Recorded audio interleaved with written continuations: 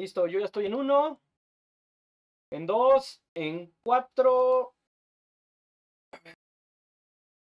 Estamos con el stream, a ver, estamos en el estudio, estamos en el en el Face, estamos en el Face, sí, llegamos al Face. Ah, llegué al Face. Qué bien. A ver, aquí debe haber otra, otro Twitch, pero no lo veo.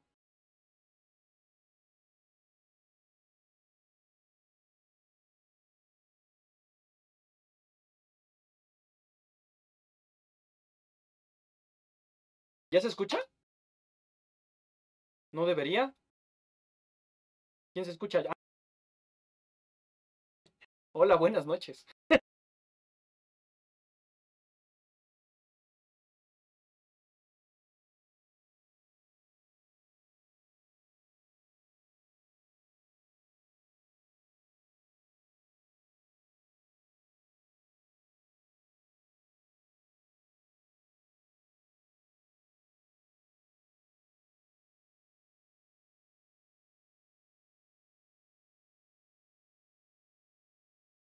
punto de comenzar.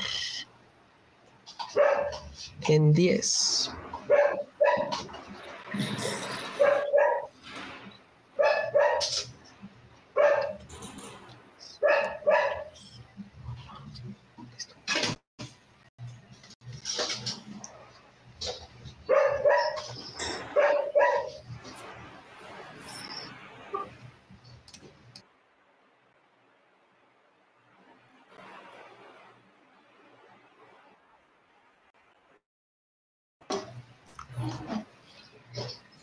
Ahí está, perfecto, ya estamos al aire.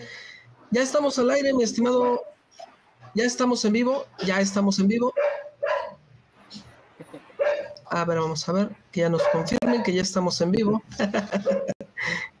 que nos digan si ya nos ven, ya nos escuchan. Ah, es que nos dicen que, que no han pasado, no, el, el, señor productor no ha hecho el cambio. No, ya, Ese señor productor ya hace de las suyas como cada viernes. Ya- ya le- ya le Pero bueno, ¿qué le vamos a hacer con ese señor productor? Mande, mande. Ya le piqué las costillas, ya. No lo dejé irse por un café. Ahí está. Sí, hay, hay que picarle las costillas de vez en cuando. Ya, ya se parece a, a, a- al- al- ¿cómo se a Facebook, ¿no? Que hace unos días creo que se cayó. Pero bueno, ese no era el tema. Muy buenas noches. Se le cerró la puerta. Ah, caray, sí. Se, se ha de haber metido el chiflón. Pero bueno, muy bien, muy buenas noches, muy buenas noches a todos. Sean bienvenidos y bienvenidas ustedes al Meetup de Meetups, el de GNU Linux Latino. Y esta noche pues tenemos el Meetup número 64 y estoy muy bien acompañado de mi querido Efren Robledo. Efren Robledo, muy buenas noches, ¿cómo te encuentras? Buenas noches. Este, nos encontramos bien. Bien, contentos. Este, tenemos otro meetup más junto con Alberto. Este, y pues es interesante seguir con esto de los meetups con, con GNU Linux Latino. Hoy un invitado más, un meetup más. Creo que es muy bueno para nosotros. Meetup 64. Es correcto. Así es. Sí, como dices, si, si Nintendo llegó al 64, nosotros, ¿por qué no? ¿No? Y bueno, pues como, como bien lo dijeron en las redes sociales, eh, esta, esta fue la, la- esta es la semana de, de Ruby on Rails, porque el lunes, apenas el lunes nos vimos para platicar de, de- de Rails como, front, como framework para desarrollo frontend con- contemporáneo. Y bueno, pues hoy tenemos otra gran charla, mi estimado Efren. Cuéntanos de, de qué vamos a platicar el día de hoy. Hoy vamos a platicar de backend con Ruby on Rails y tenemos un gran invitado. Por favor, Alberto, preséntalo. Es correcto. Pues bien, vamos a platicar eh, de Ruby on Rails y su impresionante demanda en las startups eh, con esta gran charla que Ken Sánchez va a tener para nosotros. Ken Sánchez es DevOps Engineer en Kintide, una gran agencia de, de desarrollo de software. Y vamos a darle la más cordial bienvenida a nuestro buen amigo Ken Sánchez, quien visita el Meetup de Meetups. Muy buenas noches, Ken. ¿Cómo te encuentras? Hola, ¿qué tal? ¿Cómo están? Muy bien, gracias por haberme invitado aquí. Estoy muy emocionado de poderles platicar un poquito más acerca de Ruby on Rails desde la perspectiva de startups. Y pues bueno, les agradezco la invitación.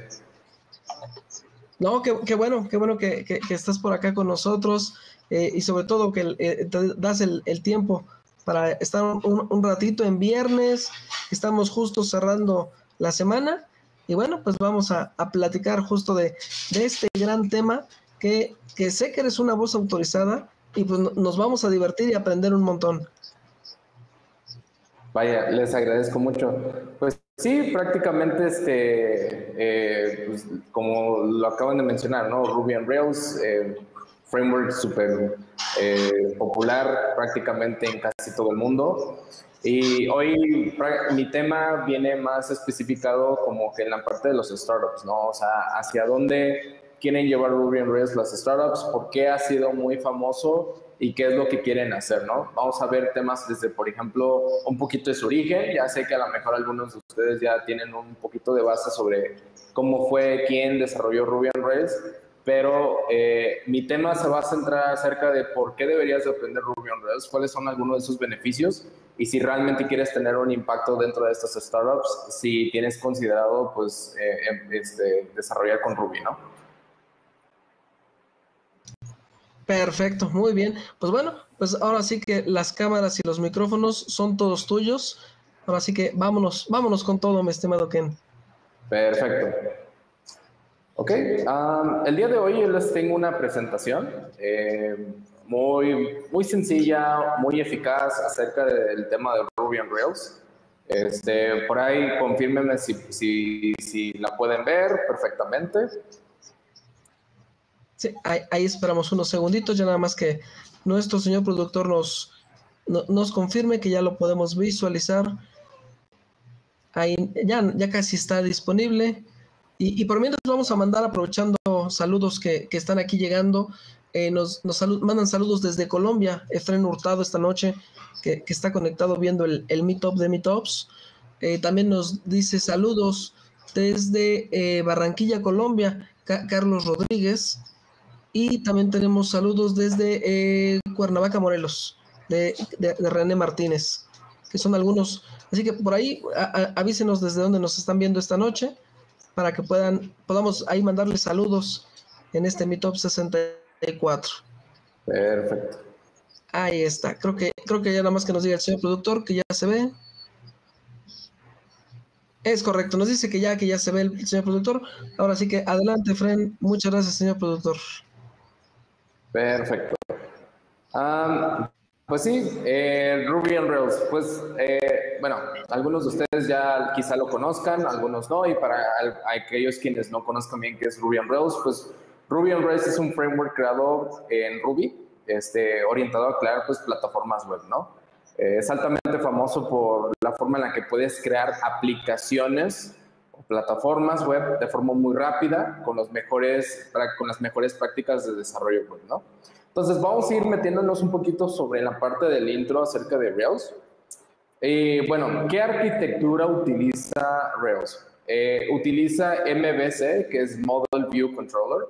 Eh, un cliente, una persona va, ejecuta un request, se va al dispatcher, pasa al dispatcher al controller. El controller va hacia la base de datos, que en este caso es el modelo, agarra la información que necesita, se lo regresa al controller, el controller renderiza esa información, se lo pasa a la vista y de la vista, pues bueno, es lo que eh, se va a mostrar.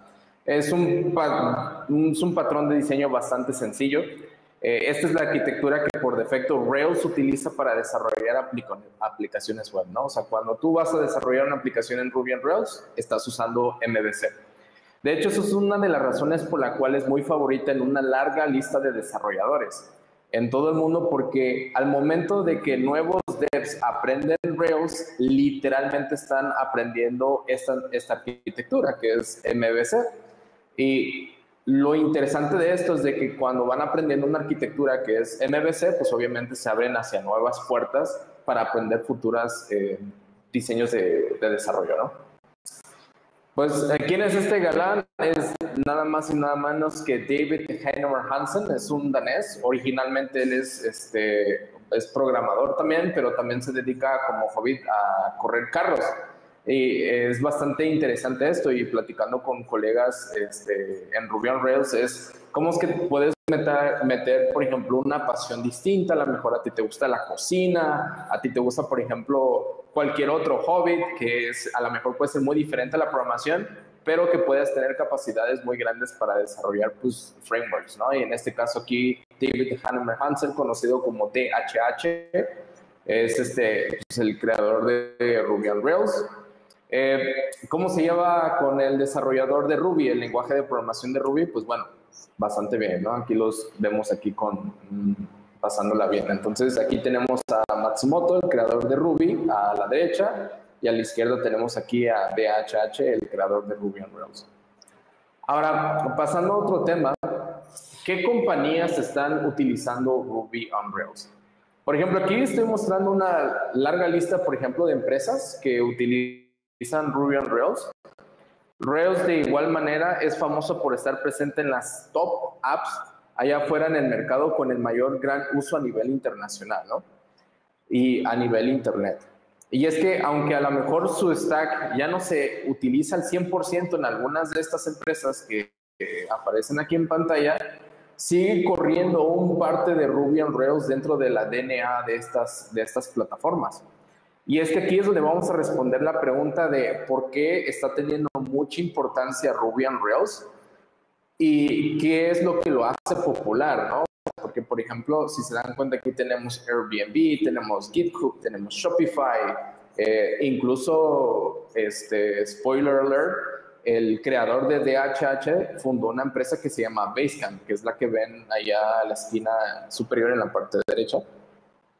Y pues bueno, tenemos otras empresas más, Twitter, SoundCloud, Groupon, eh, Indiegogo, etcétera. Y la lista todavía viene en camino muchísimo más larga.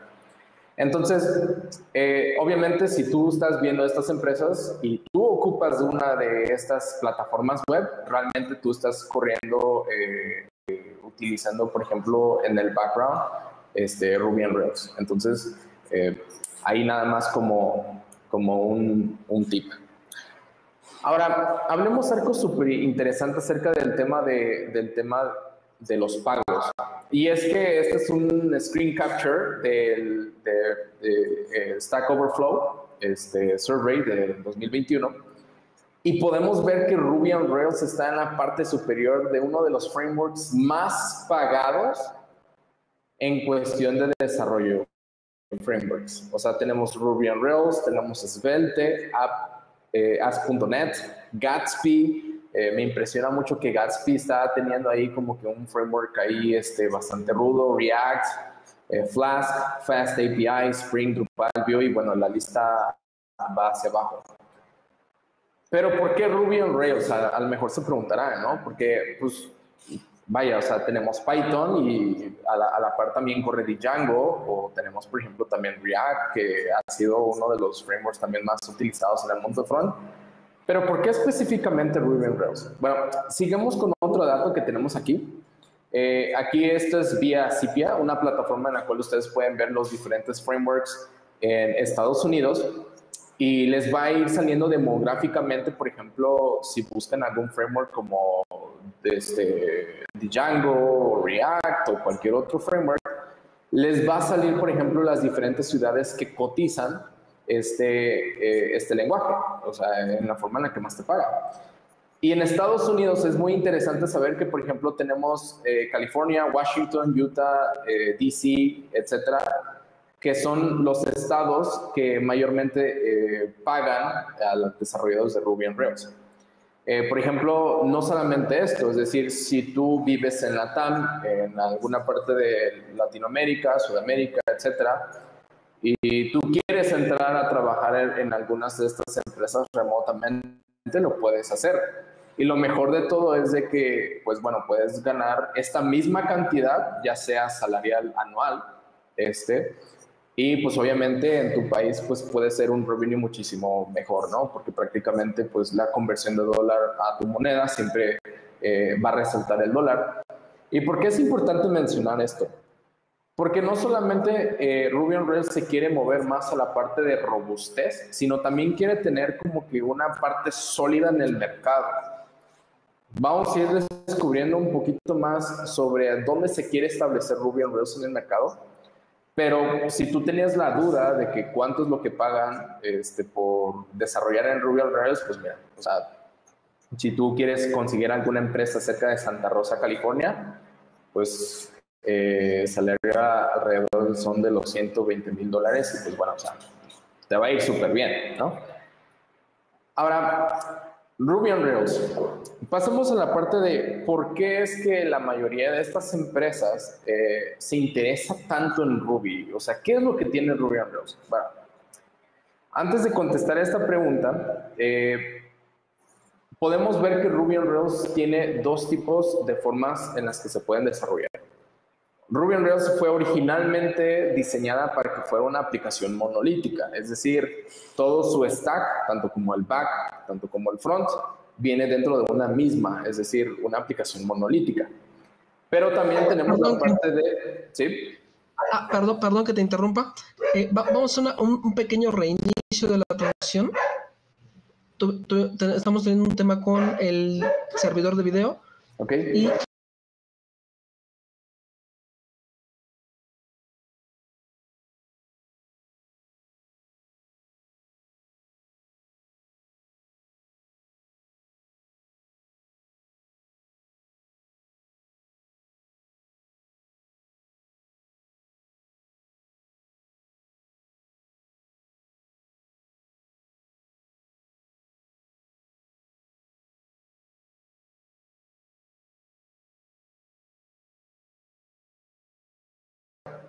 Sí, claro, gracias. Entonces, eh, les mencionaba, eh, ahora en la parte de desarrollo, ¿qué es lo que conviene que tenga un framework? O sea, ¿qué es lo que hace atractivo un framework en la parte de tanto de startups, tanto también en la comunidad de, desarrollos, de desarrolladores?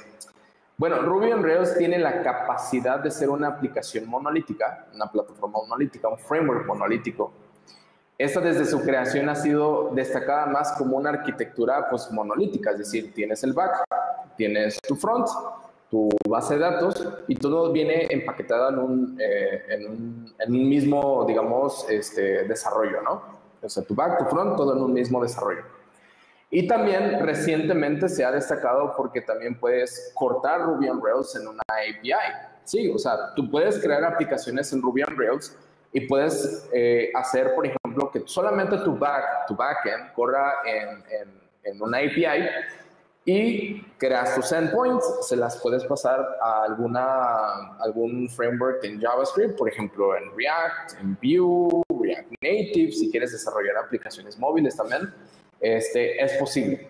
¿no? Entonces, Ruby on Rails tiene esta capacidad de desintegrarse tan interesantemente que, o sea, si tú desarrollases alguna aplicación monolítica eh, y después quieres transcurrirlo a una aplicación este, que sea una API, también lo puedes hacer, o incluso desde sus inicios. Si tu tirada siempre va a ser que a largo plazo eh, tú puedas alimentar diferentes microservicios, eh, también lo puedes hacer con Ruby on Rails. Simplemente ejecutas una pequeña línea de código en terminal y listo. O sea, prácticamente ya de ahí en fuera tú puedes seguir creando una aplicación eh, este, pues con, con, con, una API.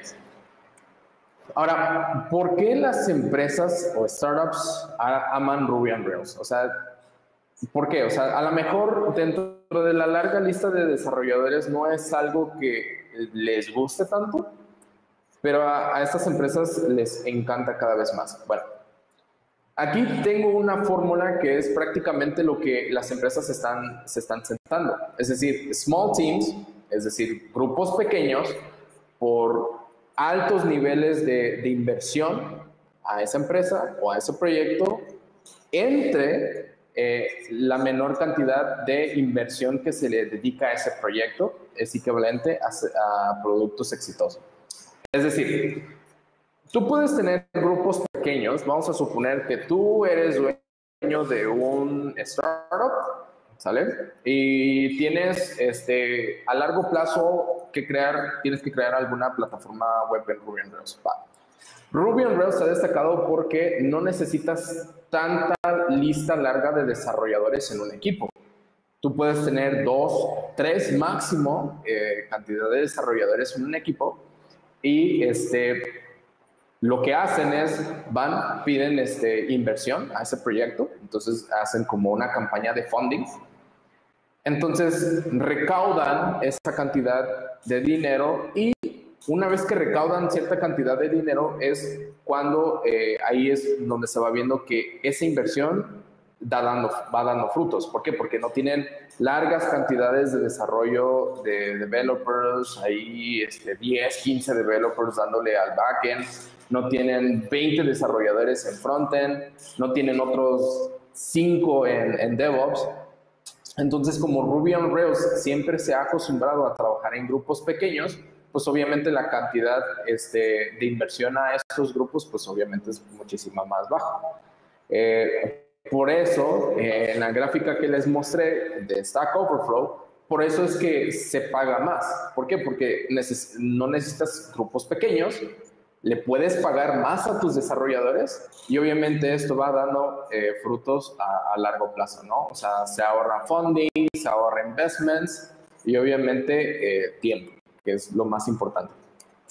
Entonces, aquí es de Ruby on Rails máximos, a lo mejor que te gustan dos project managers y de tres a cuatro desarrolladores frontend, y con eso tienes un equipo bastante exitoso.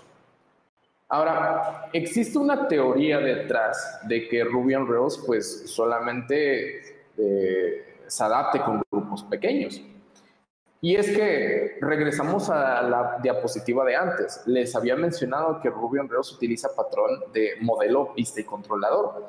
Es decir, la forma en la que tú organizas tu código es la forma en la que va a dar frutos en cuestión de este desarrollo.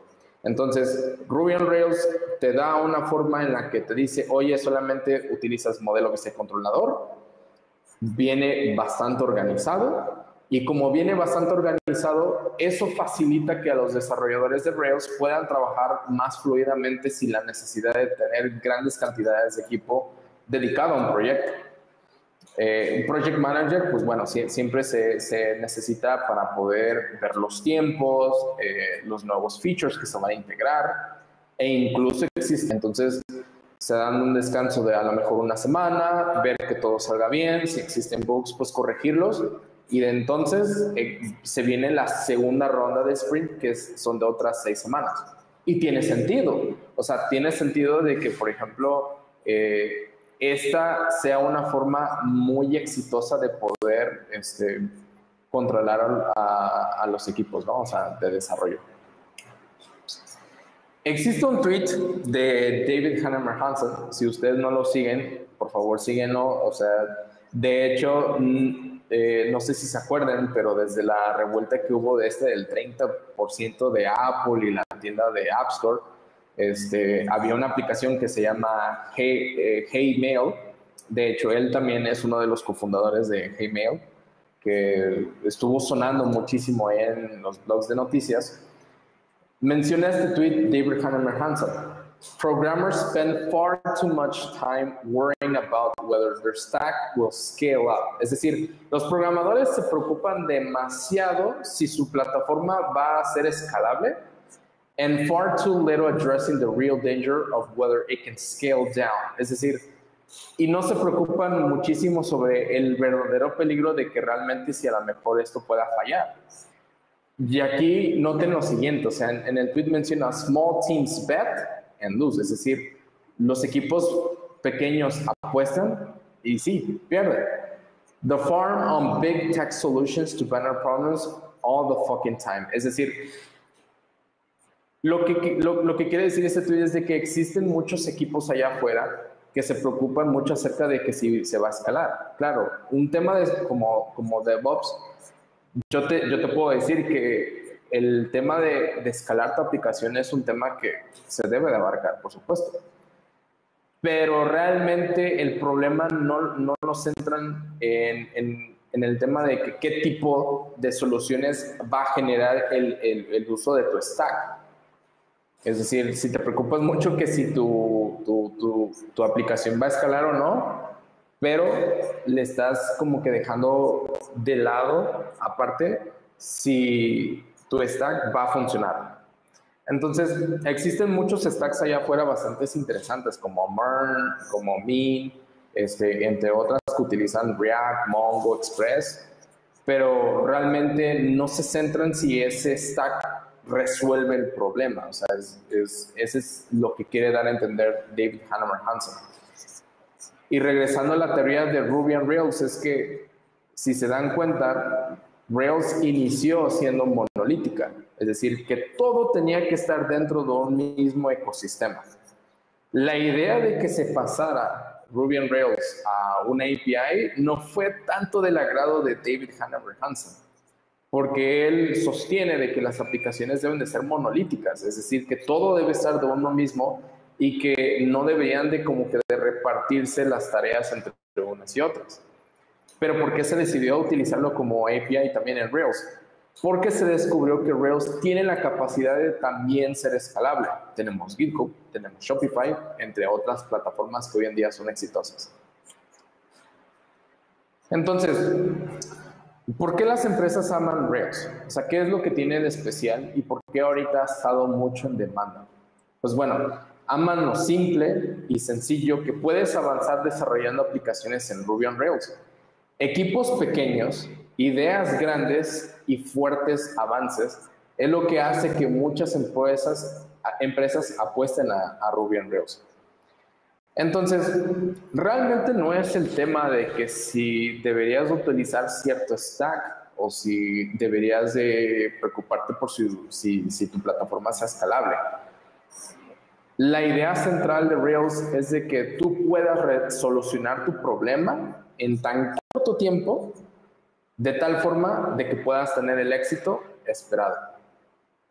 Entonces, existen en un startup como diferentes etapas de vida, que es el inicio, y luego hacen campañas de FundMe, de fundraise. Y una vez que tienen esas campañas de fundraise, entonces ahí es donde empieza a producirse la, expansión. Es en donde dicen, vaya, tenemos dinero y tenemos la capacidad de que nosotros podamos expandirnos este, con otras áreas. Y tú ya estás aprendiendo Ruby o Ruby on Rails, recuerda, Ruby on Rails sigue siendo en demanda. Y para la persona que dice que Ruby on Rails está muerta, no le hagas caso. O sea, no importa si sea COBOL, si sea Pascal, si tiene 30 o 40 años, muchísimo atrás en el futuro del mercado, aún sigue, aún sigue siendo valuable para las empresas. La tecnología, o lo cual la base sólida de una tecnología jamás va a morir. Entonces, esas empresas, aunque Twitter, aunque GitHub, aunque cualquiera de estas otras, quizá ya no esté el 100% de sus plataformas corriendo en Ruby on Rails, pero siguen teniendo arquitecturas sólidas que les permiten ser lo que hoy en día son, que son plataformas exitosas. Entonces, si tú tienes considerado entrar en una startup que a lo mejor están pidiendo Ruby on Rails de dos o tres años de experiencia, considéralo.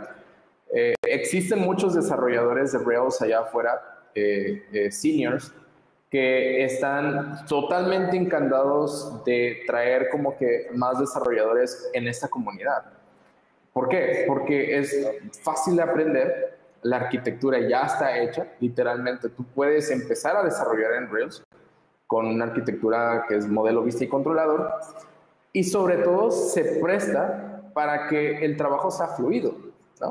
Entonces, tú puedes tener una larga lista de, tareas en, en, un sprint y tú te encargas, tú eres un senior dev y tú empiezas a hacer tu tarea que te corresponde.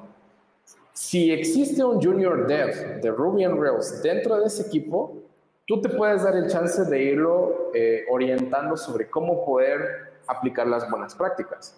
Eh, Dry, que es Don't Repeat Yourself, que es una de las que más, más fundamentaliza eh, Rails en su ecosistema. Test and Driven Development, que es una de las más importantes que se utiliza en, en Ruby on Rails, que es, viene siendo una de las buenas prácticas. y sobre todo que eh, se puedan, que puedas tú trabajar tanto como el front y como el back. Esto es importante porque no solamente te ayuda a entender cómo es que funcionan ambas relativamente, sino cómo es que todo ese ecosistema te da tanto poder para poder no solamente después trabajar en Ruby on Rails tú solo o armar tu startup tú solo, sino también te da la posibilidad de que tú también puedas trabajar en otros frameworks. Llámalo Django, llámalo Next, llámalo Spring Boot, etc. Entonces, pues esta es la plática acerca de, de, las startups, acerca de Ruby on Rails. A mí en lo personal me llegan un montón de cantidad de, de solicitudes para trabajar en las empresas pero siempre es bueno poder aportar algo a la comunidad de Rails. Es bastante abierto. Aquí en México eh, está tomando su, fuerza y pues bueno, es lo que se espera, ¿no? De que no solamente eh, pueda crecer esta comunidad, sino que también se pueda eh, aprender algo sólido y, se puedas tú también crecer como desarrollador. Y pues bueno, esa es la presentación que les traigo el día de hoy. no sé si tienen ahí algunas preguntas que les pueda yo contestar.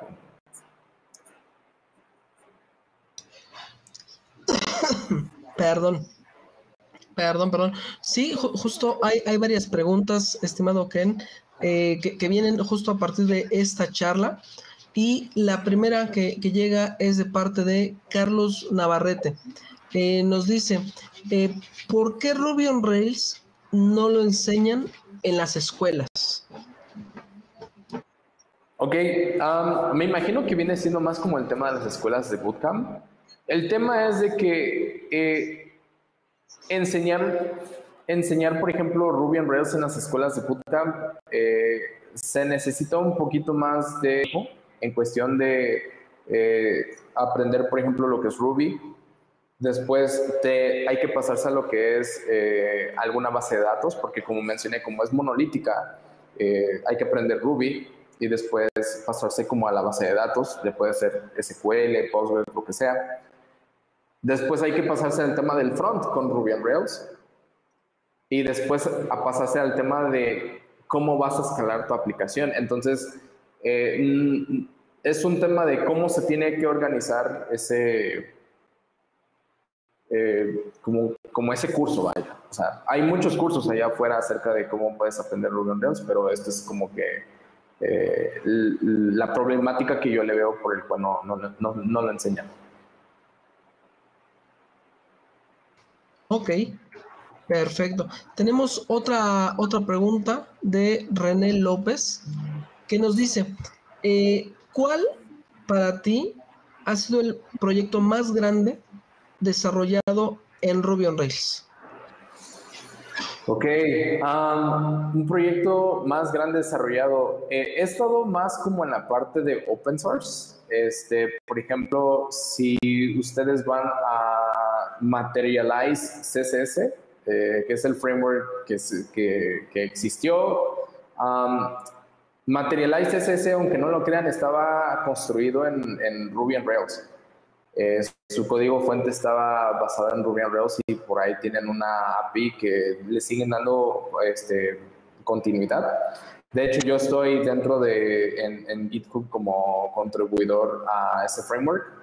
Entonces, eh, para mí fue como una realidad como que poder construir ese, ese framework, porque Materialize no solamente se ocupaba en, proyectos pequeños, o sea, Materialize se, ocupó en proyectos súper grandes, o sea, en plataformas inmensas. Eh, me parece que creo que, eh, si no mal recuerdo, este, varias plataformas de, de, que enseñan en línea este, código de programación utilizan Materialize CSS hasta la fecha.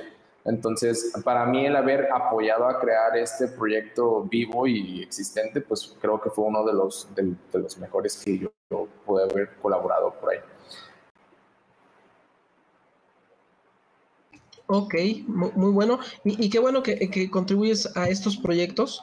Y antes de pasar a esa siguiente pregunta, eh, hay, muchos que, que, han venido aquí al programa, pero creo que eres de los primeros que eh, abiertamente platican de hacer una contribución. ¿no? A un, este, a un proyecto de software libre. ¿Cómo es este proceso, Ken? Eh, es decir, para todos los que nos están viendo, ¿qué recomendaciones les darías? ¿Cómo, ¿Cómo los animarías a que pues le entren, ¿no? Justo a, a, desarrollar software para un proyecto open source y pues cuál es la, motivación, ¿no? En este caso.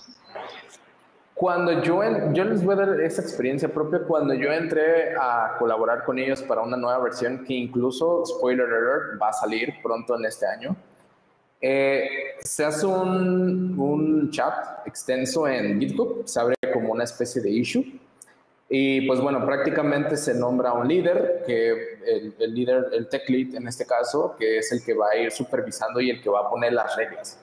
Eh, se, se, discuten cierta clase de reglas, en esas reglas es calidad de código, pruebas, este, pull requests, quiénes van a ser los moderadores, quiénes van a ser los que van a aprobar los pull requests, quiénes van a, aprobar tu, tu, código que tú vayas a subir. Entonces, este, obviamente se, se crea un grupo y ese grupo pues pasa a ser una organización un organization en, GitHub. Para que tú puedas entrar a empezar a, colaborar código, este, pues nada, o sea, yo literalmente no soy, no soy muy dado a la parte de frontend, pero les dije, oigan, yo les puedo apoyar en la parte de armar una plataforma robusta, sencilla, este, en la cual pues podamos hostear la parte del código y pues nada, ofrecer una buena experiencia en caso de que se, este, se requiera.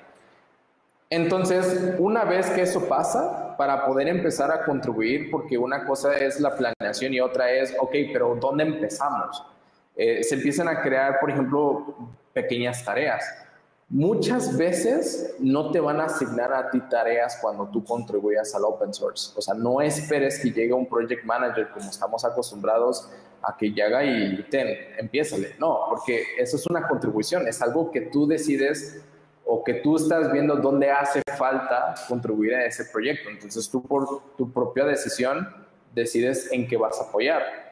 Entonces eh, creas un, un issue o algún request, tagueas a las personas a las cuales les vas a decir a, qué vas a hacer, abres tu pull request y sobre ese pull request, entonces ahora sí, ya empiezas a subir tu código, empiezas a mostrar qué es lo que estás haciendo. Eh, al final de que tú tengas eh, o creas que es suficiente, por ejemplo, lo que tú vas a subir, entonces ahora sí, ya lo mandas a que lo aprueben, se analice, se pruebe y listo, ya tienes tu primera contribución arriba. La verdad es que es un proceso un poco lento hacer contribuciones. Al inicio, si es un proyecto que va arrancando desde el inicio, es algo lento. No esperes contribuir del todo al 100%. Pero si tú ya estás, si tú ya entras a un proyecto en el cual este, eh, ya se ha estado contribuyendo, el proceso es más fácil porque ya hay cierta experiencia en cómo poder contribuir. Claro, o sea, hay diferentes proyectos que, que manejan diferentes reglas, ¿no? Este, no en todos van a ocupar las mismas reglas de, de branches en GitHub, no en todos van a ocupar las mismas reglas de, de revisar código. Pero eso es lo que yo puedo decir. O sea, al principio, si tú entras a un proyecto nuevo en el cual vas a contribuir, no esperes que sea el proceso rápido. Si tú vas a entrar en un proyecto open source en el cual ya se está contribuyendo, hay más posibilidad de que puedas contribuir un poquito más rápido. Y no le tengas miedo, no le tengas miedo. Eh, la comunidad open source es bastante amable, eh, abraza a aquellos desarrolladores juniors devs que quieran empezar como a contribuir a Inicias, entonces tú pregúntales, te vas a topar con gente muy experimentada que trabaja en grandes empresas y tómate muy en serio ese trabajo. Yo creo que si quieres empezar a contribuir open source, es tomártelo muy en serio y sobre todo siempre respetar las reglas de la comunidad y con eso sobrevives.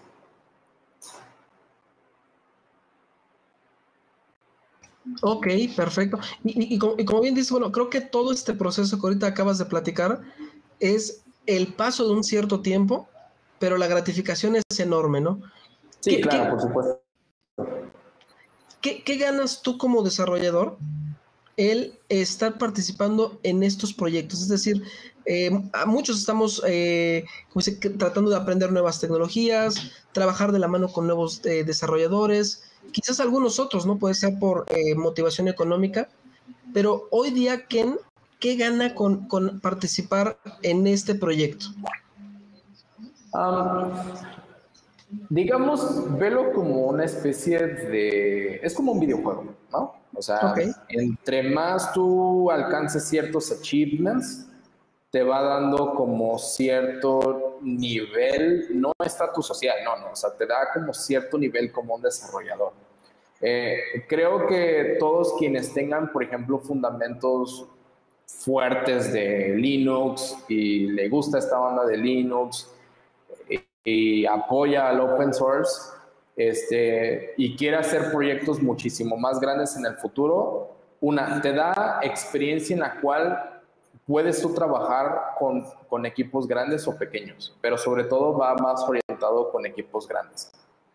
La segunda es de que contribuir a proyectos open source eh, te da la posibilidad de que seas confiable a la hora de que tú entres a nuevos proyectos y empresas.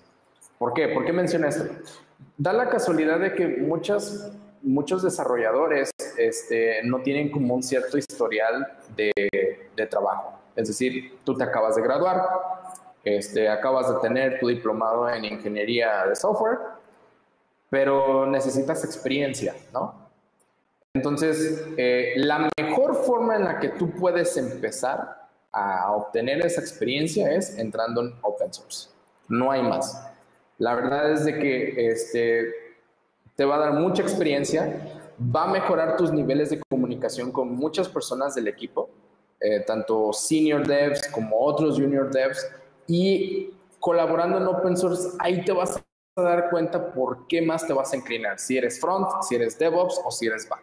Eso es sobre todo lo que tú ganas, una estabilidad en el mercado tech.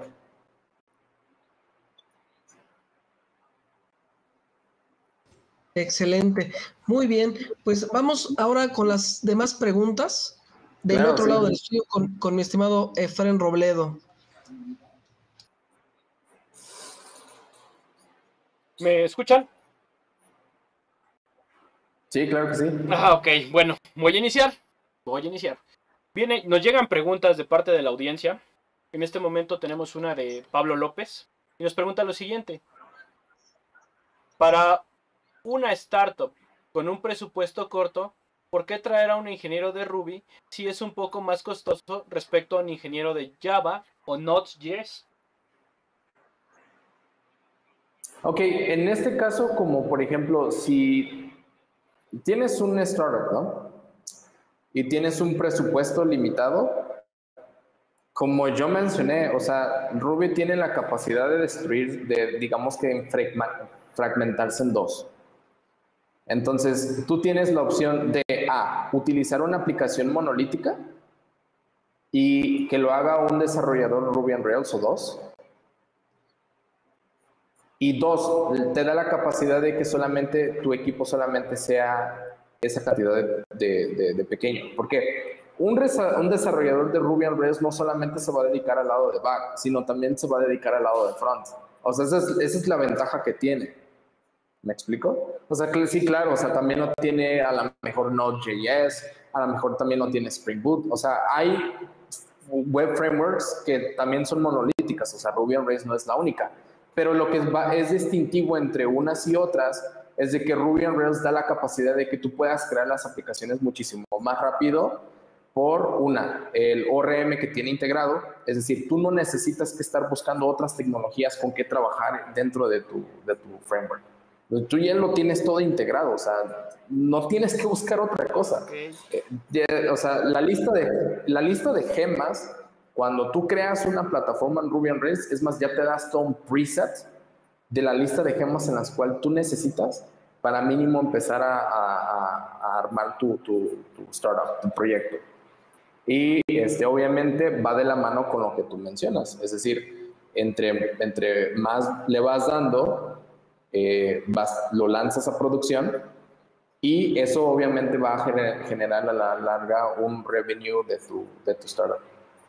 Pregunta que este, para, la, para los amigos que, nos, que nos escuchan este, en internet, este, ¿nos podrías definir qué es una gema? Digo, para la gente que no sabe, que no ha tomado el lenguaje, creo que es importante que les des una idea, qué es una gema.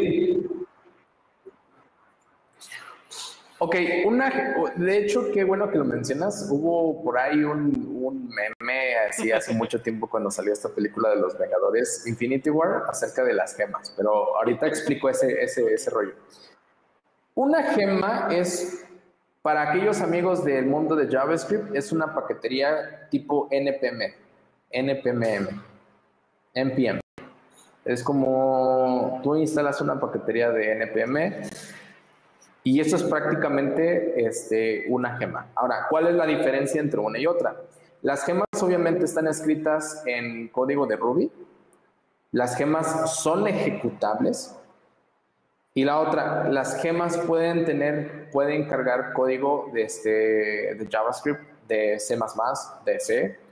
Entonces, eso son lo que son las gemas. O sea, es un, es un paquetito, es un módulo que viene cargado con muchos este, otros bloques de código que hacen funcionar un, programa.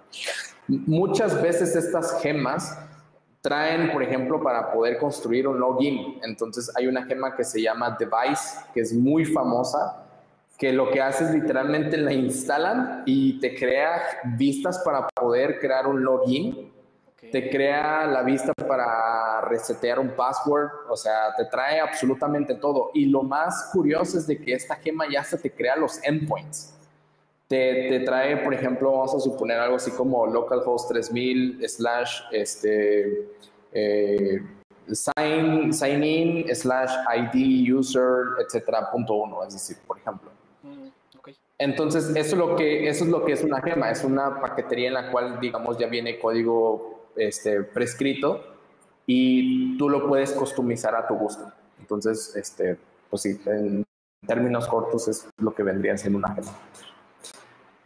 Ok, entonces, eh, bueno, quizás, quizás el concepto no, no, no es tan, digamos que yo no soy desarrollador como tal, pero podría ser como un, este, un, un, una especie de toolkit, toolkit ya empaquetado para hacer una tarea en específico, con librerías y ejecutables. Sí, sí, o sea, prácticamente eh, eh, eso es. O sea, eh, las gemas en Ruby no solamente también pueden funcionar obviamente en, Ruby on Rails, sino si tú estás creando a lo mejor algún ejecutable en un archivo Ruby, o sea, si tú, por ejemplo, trabajas este archivo en, en este, si tú a lo mejor estás desarrollando en Windows y quieres armar un archivo ejecutable a lo mejor en Mac, va a funcionar. ¿Por qué? Porque es, es, es multiplataforma. Ah, Entonces, eso es lo que hacen las gemas, o sea, te ayudan, ajá, eso es lo que te ayudan las gemas, o sea, las gemas son multiplataformas en las cuales tú las puedes probar tanto en Ruby, es decir, como en, una, en un ambiente este, de Linux o de Windows o de Mac. Y esa misma gema también la puedes transportar a tu framework de Ruby on Rails ya para desarrollo web. Esto, esto, mismo, esto mismo aplica, digamos que del lado de que tienes al desarrollador en escritorio y tienes un aplicativo para servidor, o sea, las gemas son, son transparentes, ¿no? Exactamente, exactamente, así funciona. Entonces, por eso ahí viene el, el, el, meme de, de, Thanos, ¿no? Porque, por ejemplo, eh, Thanos tiene esas, esas cinco gemas y este, le da uso cada una de ellas. Entonces, por ejemplo, en, Ruby on Rails, cada una de esas gemas tú le puedes dar un diferente, un diferente uso. O sea, tú le puedes dar un diferente uso para, para, para escritorio, para web, para servidores, para etcétera. Entonces, es, es, es, es lo impresionante que, que, funciona para lo, maravilloso que, que, tiene Rails en este caso. Este, desde, tu, desde tu punto como desarrollador, Ken, este, ¿cuál ha sido tu, proyecto que más gemas ha necesitado? O sea, tienes, bueno, digo, me sigo con las preguntas igual para que lo pienses, lo pienses por un buen rato y más adelante nos das tu, apreciación sobre, sobre qué proyecto te, ha, ha, necesitado de esas gemas de mayor. ¿Cuál es el de, bueno, dos cosas. Uno, ¿cuál es el que menos gema, este, cuál es, digamos, tu ejemplo que menos gemas ocuparía? ¿Y cuál es tu ejemplo que, que sí dirías tú que ya lleva un buen rato de desarrollo, necesita un montón de gemas, hace un montón de cosas. Ajá. Bueno, te lo dejo de tarea por mientras y me sigo con la siguiente pregunta. la pregunta viene de Federico Jiménez y nos pregunta lo siguiente. ¿Consideras que Ruby debe de ser un lenguaje de primer arranque en lugar de Python o algún otro lenguaje? Eh, fíjate que algo muy curioso es de que Ruby y Python podrían de ser casi casi como primos. O sea, si tú ves la sintaxis que tiene Ruby y la sintaxis que tiene Python, es, es, casi casi similar. Las variaciones son algunas, algunas otras, ¿no? Aquí viene eh, la, la, respuesta que yo te puedo dar es que aquí ya depende tanto como de para qué necesitas este, utilizar Python o Ruby.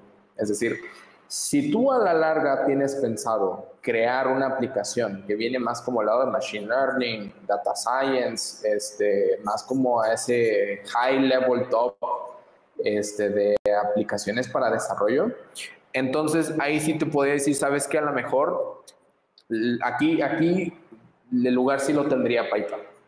¿No? ahora, existen ya diferentes tipos de microservicios que tú puedes alimentar de otro lado, llámase en AWS, y que tú las puedes jalar directamente a Ruby on Rails y te va a funcionar. O sea, esa es la maravilla de Ruby. Es decir, tú puedes tener tu programa en Ruby, o sea, tú tienes tu Ruby on Rails, y por ejemplo, vamos a suponer que tienes algunos microservicios alojados en Python.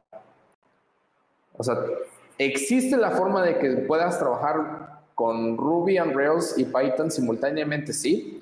No lo recomiendo. La verdad es de que eh, todavía eh, eh, hay, existe un conflicto de interés ahí. Pero mi mejor pregunta es de que si tienes algo pensado hacer, algo con Machine Learning, Data Science, inteligencia artificial, yo creo que el, el bastón sí se lo pasaría a Python en ese caso.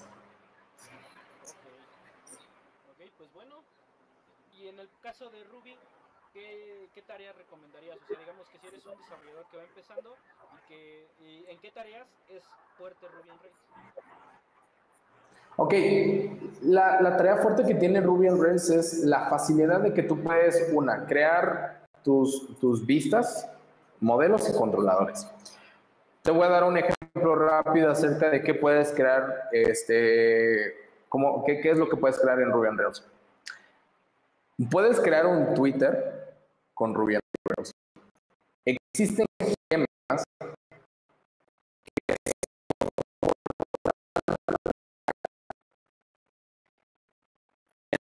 Entonces, eh, puedes crear un mini puedes en Ruby on Rails puedes crear alguna aplicación de, de colaboración.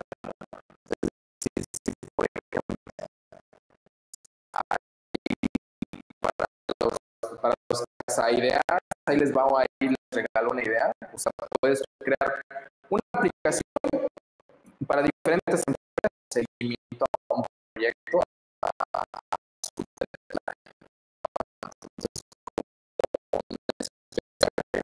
cierto archivo, fulanito de tal comentó este archivo, cositas así, este, también lo puedes hacer. Eh, Ruby on Rails está muy enfocado a la parte más como administrativa y más como a la parte de comunicación.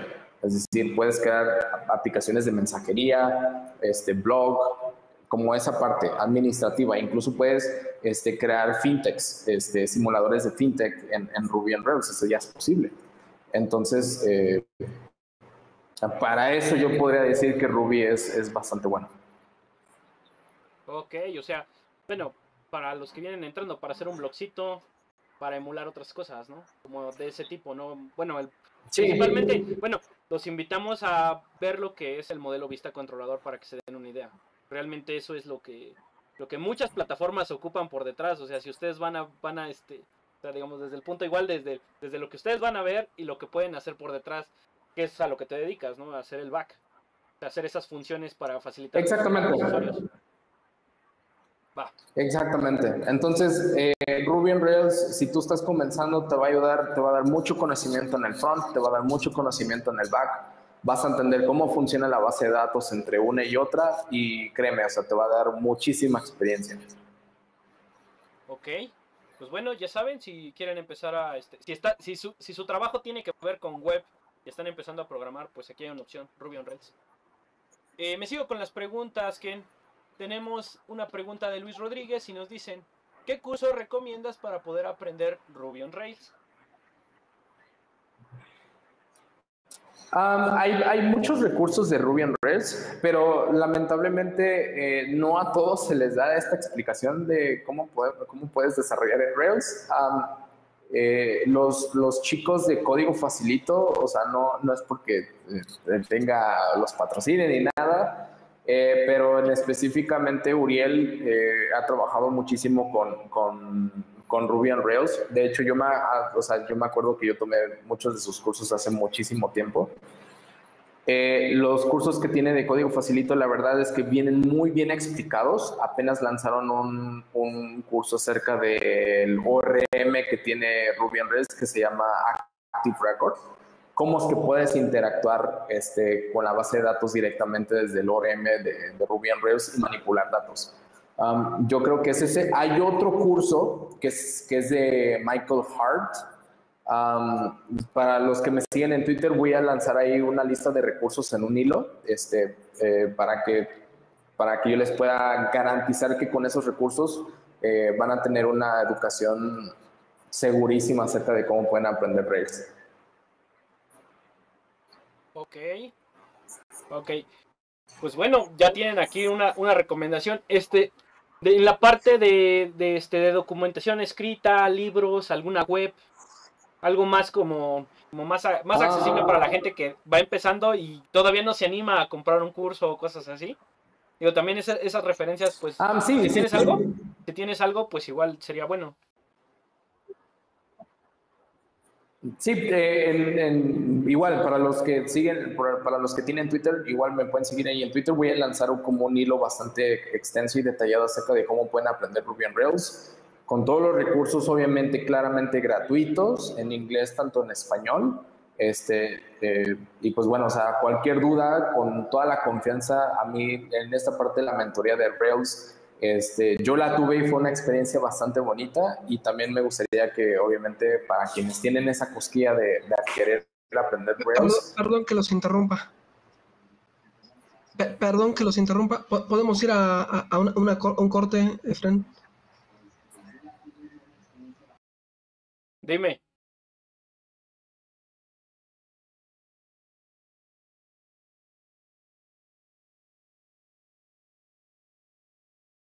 Ah, rayos.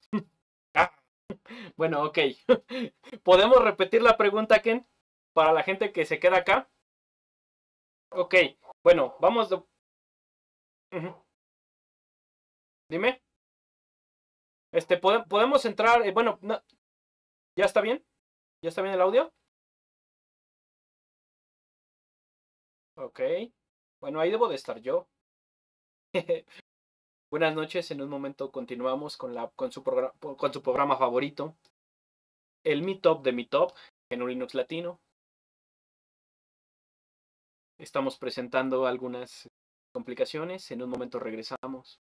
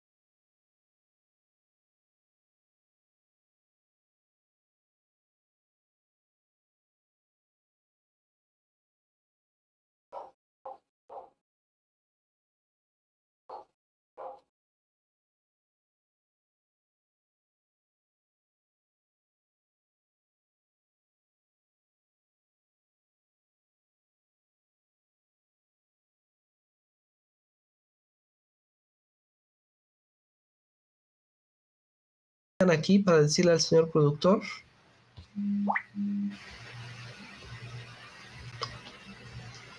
Ya se escucha, nos, nos dicen, a ver ahorita que, que, nos llegue. Sí, igual si, hay, saludos que dar, si hay saludos que dar, mándenlos. Este, si hay saludos para nuestro invitado, si quieren preguntarle algo, pues igual, este, pues aprovechen que ahora está con nosotros. no habíamos tenido gente de Ruby, digo, el lunes tuvimos a un, este, otra persona de Ruby, por eso es la semana de Ruby, llevamos, esta semana sí se hicieron dos meetups, así que eso está padre. Nada más. ¿Me dices, Alberto, para, para continuar? Listo.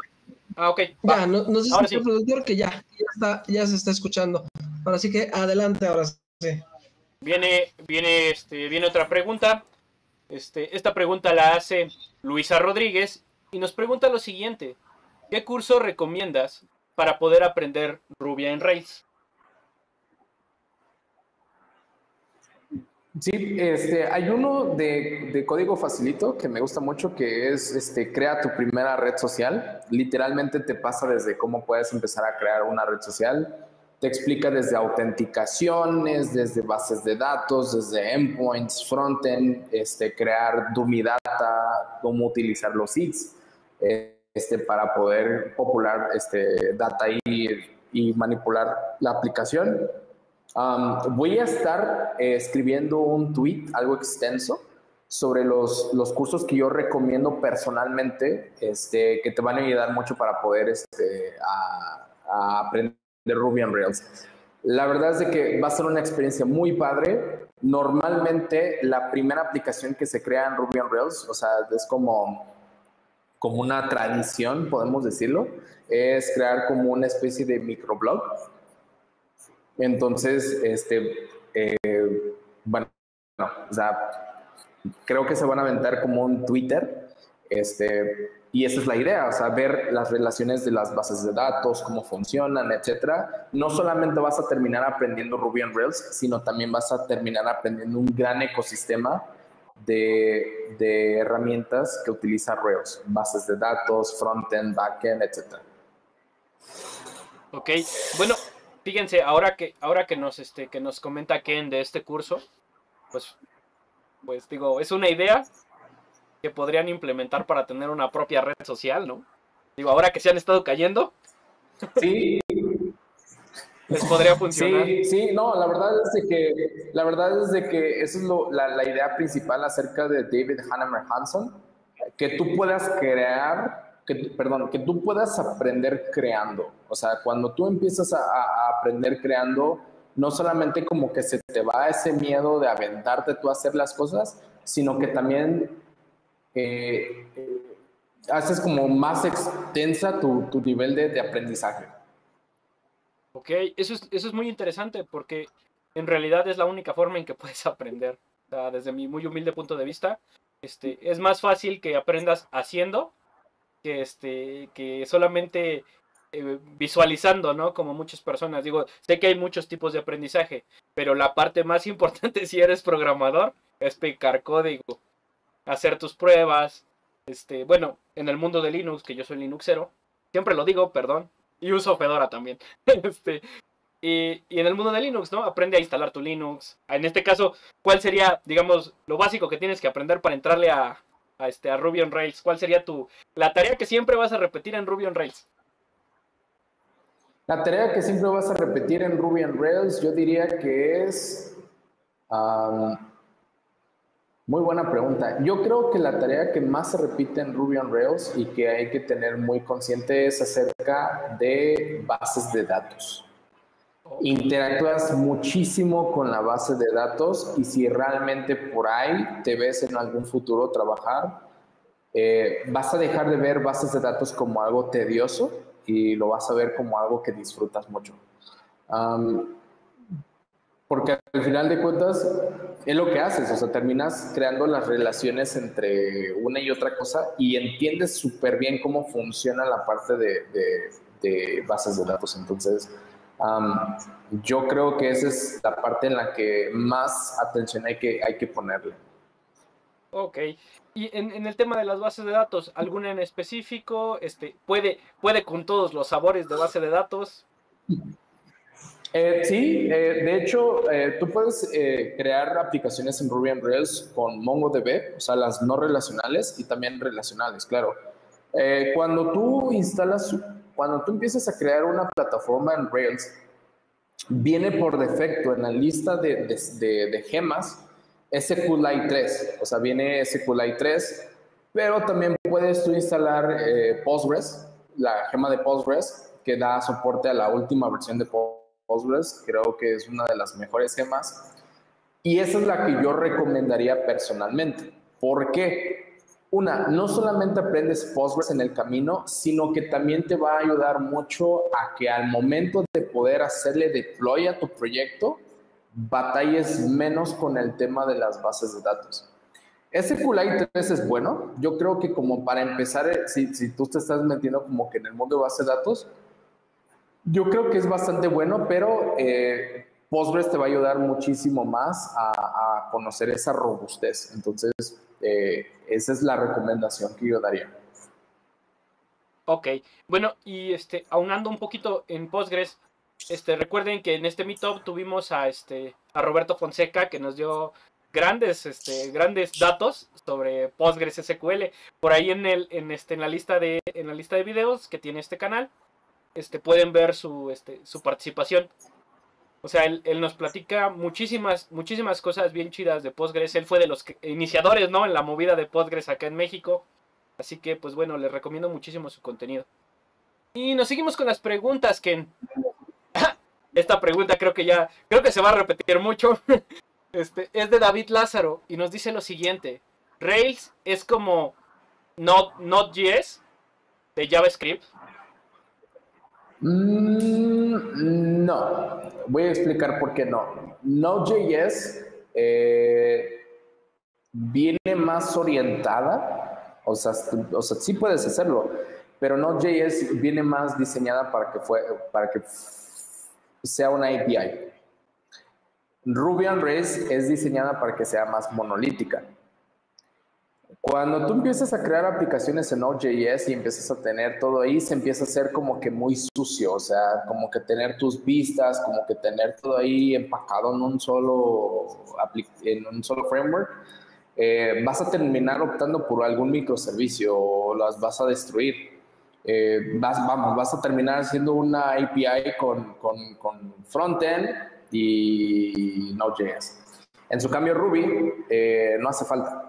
O sea, no hace falta que tú hagas eso. O sea, te da la opción de que puedas tú tener este, todo en un mismo lugar sin que se vea sucio. Puedes tener tus vistas, este, porque ya viene orientado para que sea así. Modelo vista controlador. Y y perdón, y Node.js no tiene como tal algún patrón en la cual tú, tú puedas desarrollar. Puedes crear tu propia arquitectura en MVC, en Node.js también puedes crear otras. Entonces, eh, donde a lo mejor yo podría decir que Node.js y Ruby on Rails tienen similitudes, es en la parte en la, cómo, es en la, parte en la, en la que cómo interactúan este, con, con las vistas. Eh, es decir, interactúan con la parte de las vistas por medio de endpoints. Y, y ahora sí que viene siendo más como cliente-servidor, pero hasta ahí es la, la única similitud que yo le podría ver. Ok. Ok, pues bueno. Este, ese es un debate que siempre se da entre los dos lenguajes. Lo he escuchado ya en más de una ocasión. Así que, pues. Sí, no, no, sí, claro. O sea, realmente Node.js tiene su, su potencial. También Ruby on Rails, pero jamás haría la comparación entre una y otra, porque debo decir que Node.js tiene sus cosas muy chulas de un lado pero también Ruby también tiene lo suyo. Y, y, no podrían convivir eh, los dos. O sea, no, no, no existiría como alguna convivencia entre ellos dos. Ok. Pues bueno, ya saben. Llegamos con las preguntas. Esta pregunta viene de Rodolfo Uriarte. Y primero nos dice, muchas gracias por tu presentación. En cuestión de rendimiento y curva de aprendizaje, ¿por qué prefieres Rails? En comparación de otros frameworks. Por ejemplo, Laravel, Zen, de Django y un largo etc. Ok, eh, sobre por qué la, curva de aprendizaje en Ruby on Rails es, es bastante corta. Porque como viene definido en la arquitectura modelo vista controlador, existe un patrón de aprendizaje. O sea, cuando tú vienes entrando Ruby on Rails, no te puedes lanzar luego, luego a bases de datos, o no te puedes lanzar luego, luego a, controladores, no te puedes lanzar luego, luego como a otro tipo de, de, cosas, ¿no? Entonces, como tiene un orden, así como tú em, empiezas a aprender Ruby on Rails, tú vas a adoptar ese orden como en el que tú aprendiste para poderlo trabajar ya en el mundo profesional. Entonces, eh, cuando tú empieces a aprender Ruby on Rails, así como empiezas a entrar, así vas a empezar casi, casi todos los días. Vas a empezar, por ejemplo, eh, lo primero que te explican de Ruby on Rails viene siendo los controladores. Es muy importante, o sea, eh, los controladores, qué significan, después se van con los modelos y después se van con las vistas. ¿Por qué lo hacen de esa forma? Porque no te, o sea, la idea de Ruby on Rails es tener vistas pero esas vistas tienen que venir de algún lado, o sea, tienen que venir de algún servidor de datos, de alguna base de datos. Entonces no tendría mucho sentido que tú empieces a aprender Ruby on Rails con vistas estáticas.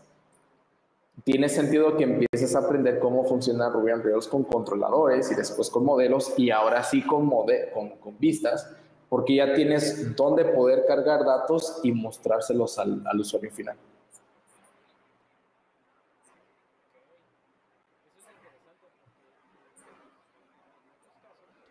Tenemos que, que dependiendo del lenguaje, ¿no? Esto sí depende mucho del lenguaje. Pero lo que me estás diciendo es que Ruby on Rails tiene, tiene planificada una, una ruta para el desarrollo del programador, ¿no? Para que se vaya construyendo poco a poco. Exactamente, y eso es lo que lo hace más fácil, yo creo que eh, a largo plazo, porque la forma, yo, yo siempre he dicho que la forma en la que aprendes es la forma en la que lo vas a ejecutar entonces, si tú empiezas con un patrón de aprendizaje este, bien organizado, en el futuro, cuando ya empiezas a, trabajar Ruby en Rails profesionalmente, pues entonces esta es la ruta que tú vas a hacer para que todos tus procesos corran de forma correcta. Ok, va. Ese es, ese, ese para, es, o sea, señor productor, por favor, corte ese pedazo de video, estos últimos dos minutos, tres minutos, hágame un TikTok de esto, y pues seguimos adelante con las preguntas. Pedro Lozano nos pregunta, ¿existe algún otro framework para desarrollo web además de Ruby on Rails, de Ruby on Rails con Ruby? Eh, sí, sí, sí existe. Eh, o sea, si existe otro framework de Ruby aparte de Ruby on Rails. Existe uno que se llama Sinatra. Eh, este viene dándole homenaje a Frank Sinatra, este cantautor de, muchas canciones clásicas. Entonces, eh, Sinatra es como el hermano de, de Flask de Python. Son súper idénticos. O sea, la forma en la que desarrolla, si tú desarrollas en Flask, puedes desarrollar en Sinatra. O sea, es idéntico. O sea, ¿por qué? Porque es una forma de poder crear, digamos, eh, aplicaciones web de una forma muy sencilla, sin tener tan estructurado algo tan robusto. Y hago la comparativa de que, por ejemplo, en Python está Django y en Ruby está Ruby on Rails. Y luego, si nos vamos a categorías un poquito más bajas, luego tienes Python, pero con Flask. Y en Ruby aplicaría Sinatra. Entonces sí, ah, ese es el, framework. Existen otras, otros tipos de framework, pero esa es la única que yo te puedo decir que, más pega. O sea, no es por eh, hacer de menos, pero realmente Sinatra tiene todo lo que necesitas para crear este, aplicaciones web muy sencillas. Eh, algo como Sinatra viene siendo algo más o menos como un, una especie de Next.js, este, pero orientado a Ruby. Pero una versión muy, muy, muy ligera. Ok. Ok. Pues bueno, para los que preguntaban, Sinatra, vamos a tratar de ponerles la liga en el, en el grupo de GNU Linux Latino para que lo conozcan y lo prueben. para la gente que ya le pica a Ruby, creo que sería una muy buena opción. Eh, la siguiente pregunta viene de una persona que siempre nos ve, a la cual le mando un saludo bien, un saludo y un abrazo bien fuerte porque siempre nos hace la misma pregunta a la que siempre llega. es esta. La pregunta viene de Marlene Ortega y dice lo siguiente: ¿Los full stack existen o son los papás? Mm, buena pregunta. ¿Los full stack existen o están los papás? ¿O son? ¿O son los papás? Ah, o son los papás.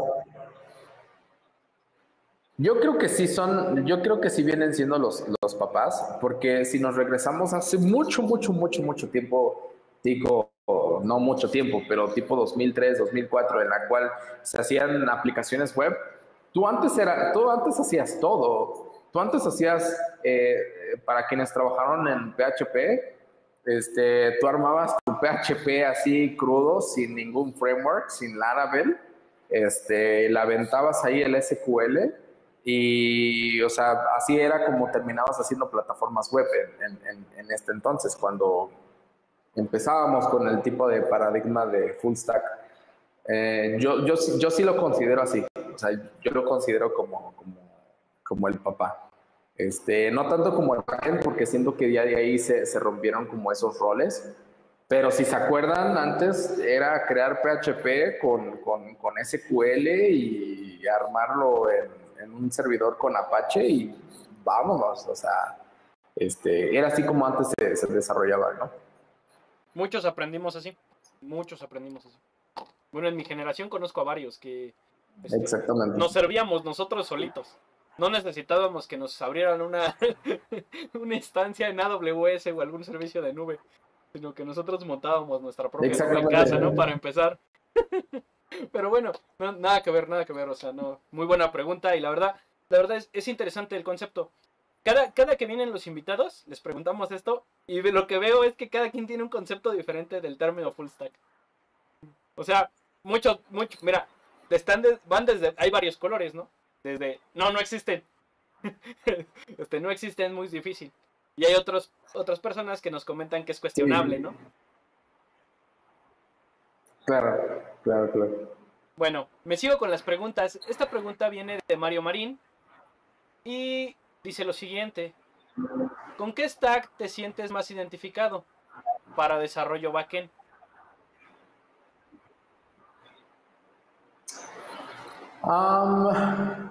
Últimamente, estos últimos, digamos, estos últimos meses, he estado trabajando mucho con, con la parte de, de Node este, para backend. no es algo que sea muy fan, pero es algo que tampoco le digo que no. Este, realmente creo que, para todas las circunstancias hay, ¿no?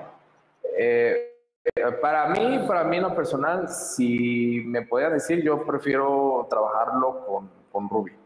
Ahora, también existe la posibilidad de también trabajar con Python en la parte de, de, backend, este, con alguna API externa. Pero últimamente sí he estado trabajando más en la parte de JavaScript para backend con, con Node.js es cómodo hasta cierto punto, pero sí a veces este, puede llegar así en lo personalmente un poco tedioso, ¿no? Backend es backend en cualquier lado, o sea, no cambia, o sea, backend siempre va a ser backend en cualquier lado, entonces, este, es, dependiendo de tu paradigma y de tu, de tu, de tu gusto. Ese es el, en mi opinión. En el tema de backend, este, eh, en el tema de backend, aunque suene redundante, este, ¿cuáles son los puntos que, definen el backend? O sea, ¿cuáles son esos puntos? ¿Cuáles son los puntos que definen? Ajá, digamos que en tanto a este, ¿qué tengo que hacer en backend? O sea, para la gente que igual y no ubica, no ubica qué es backend, o sea, suena raro, pero este, para que la gente conozca que a lo mejor está haciendo dos funciones por eso el término full stack, a lo mejor. Ah, sí, no, eh, el backend prácticamente es el que se encarga, digamos, de todo el código del lado de servidor, eh, el que procesa más como el tema de la lógica. y nada más.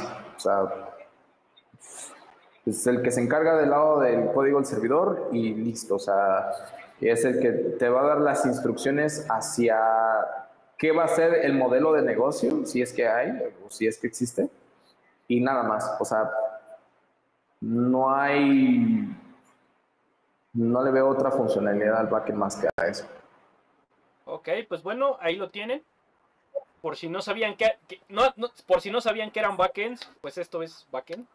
Así que, pues bueno, sigamos aprendiendo con Ken. Paso, paso micrófonos al, al este al estudio con este con Alberto para que siga con las preguntas. Quiero, quiero pensar que hay más preguntas, ¿verdad, Alberto? Es, verdad, mi estimado Efraín, eh, Efraín, perdón, ahí tenemos, tenemos más, este, más preguntas del público que amablemente nos ve, todos los, los que, están en vivo como todos los viernes. Y bueno, pues tenemos la, primera pregunta de Fátima Palacios. Eh, ¿Qué futuro ves a Ruby on Rails respecto a Java y a otros lenguajes de programación que hoy dominan esta área? yo creo que les veo bastante, bastante futuro a ambos, obviamente en caminos muy distintos. Entonces, este, Java sí siempre va a seguir como que teniendo su éxito de toda la vida, ¿no? Este, multiplataforma, a lo mejor para el desarrollo de juegos, a lo mejor para el desarrollo de otras cosas un poquito más robustas.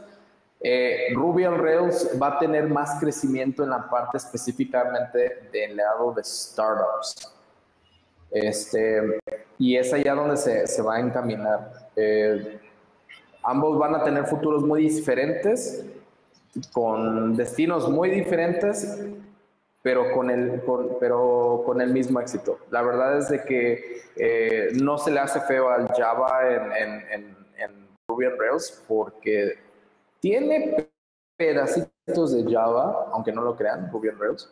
Este, entonces, yo sí los considero como que con futuros bastante prometedores a los dos todavía y por muchísimo más tiempo. Ok, muy bien. Tenemos otra pregunta de Ricardo Peralta y, nos dice, hace algunos años se desarrollaron algunos frameworks para aplicaciones móviles. ¿Qué opciones tenemos utilizando Ruby para front, backend, web y mobile? parte de la, de la plática que di, por ejemplo, es de que tú puedes utilizar Ruby on Rails como una API. Y tú puedes desarrollar, por ejemplo, aplicaciones móviles con React Native, con Ionic, con Flutter, este, y eh, la puedes seguir alimentándolo desde tu API con Ruby on Rails. Eso mm, no lo detiene. Entonces es, es lo padre y esa es la misma razón por que varias empresas lo, lo, adoptan, porque no necesitan muchas personas dentro del backend que lo estén atendiendo. Pueden ver dos personas en el backend o tres, ya máximo, y pueden tener un grupo un poquito más, un grupo más largo en la cuestión de mobile, pero que se dedique solamente, únicamente a la parte de programación de mobile. Este, por eso es que, la, por eso es que las, las empresas lo, lo, lo, utilizan más, porque a diferencia de, por ejemplo, Java, pues sí, a lo mejor necesitas un poquito de, de equipo un poquito más, más, más, este, un poquito más grande. En Ruby no, o sea, Ruby creas tu backend, necesitas uno o dos desarrolladores y el resto de información se lo puedes pasar al equipo de mobile. Y de igual manera funciona para el tema del frontend, o sea, para el tema del frontend tienes tu API hecho en Ruby on Rails y creas tus aplicaciones en frontend con React, con Vue, con Next, con los chorrocientos de este, frameworks que existen de, de, JavaScript y tener el mismo resultado. O sea, eso no cambia. Y lo mejor de todo es de que no hay una afectación en, en el performance al utilizar una API con Rails y utilizar otro stack este, diferente. Perfecto. Tenemos otra pregunta que viene de Abel Mendiola, que también es una de las personas que no se pierde el programa y no lo culpamos. es cierto. Eh, nos dice, eh, ¿qué tan fidedigna es la demanda de Ruby on Rails en una startup? En los anuncios de empleo de 10 que veo, uno solamente pide Ruby on Rails. Y, si, y pregunta si esta demanda aplica a, los, a las ofertas en Estados Unidos. Eh, sí, eh, qué buena pregunta. Las, las demandas de, de, Ruby on Rails vienen más aplicadas para, para Europa y Estados Unidos y algunos, este, y también podría aplicar para partes de Australia. Ahí les va. Resulta que hay muchas empresas que le meten mucho dinero a las startups, a los inversionistas le inyectan mucho dinero, o sea, tienen funding muchísimo más grande entonces, ¿qué es lo que hacen? Para poder ahorrarse ese funding, ¿a dónde creen que vienen a buscar el, talento? Pues lo vienen a buscar aquí en Latinoamérica, aquí en toda la parte de México, Colombia, Argentina, Chile, etcétera, todos estos países. ¿Por qué? Porque saben que Ruby on Rails es caro y lo que hacen es que este, es la única forma en la cual este, el tema del salario pues, puede rendir más, porque obviamente la conversión de moneda es diferente.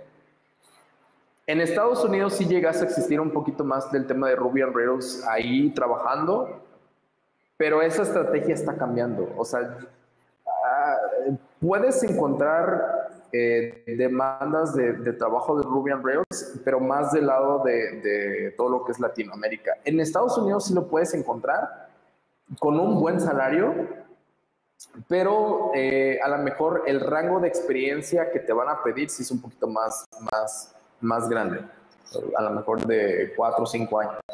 Y aquí en este lado no tanto, porque se, se, conoce que obviamente Ruby on Rails aquí en la parte de Latinoamérica no tiene tanto ese auge pero como ofrecen sueldos competitivos en, este, en esta, digamos, en las posiciones de trabajo, pues obviamente eso trata de impulsar que, crezca la motivación hacia aprender, aprender Rails. Entonces, volviendo a la pregunta de Abel, este, pues la, la, verdad es que esa demanda siempre es muy, muy estable. Pareciera que este, las ofertas de trabajo, por ejemplo, se alzan, pero solamente en gráficos que viene siendo más en la parte de Latinoamérica. Sí, en Estados Unidos hay mucha demanda también de Ruby on Rails, pero esa, esa estrategia está cambiando ahorita por, por el tema del funding.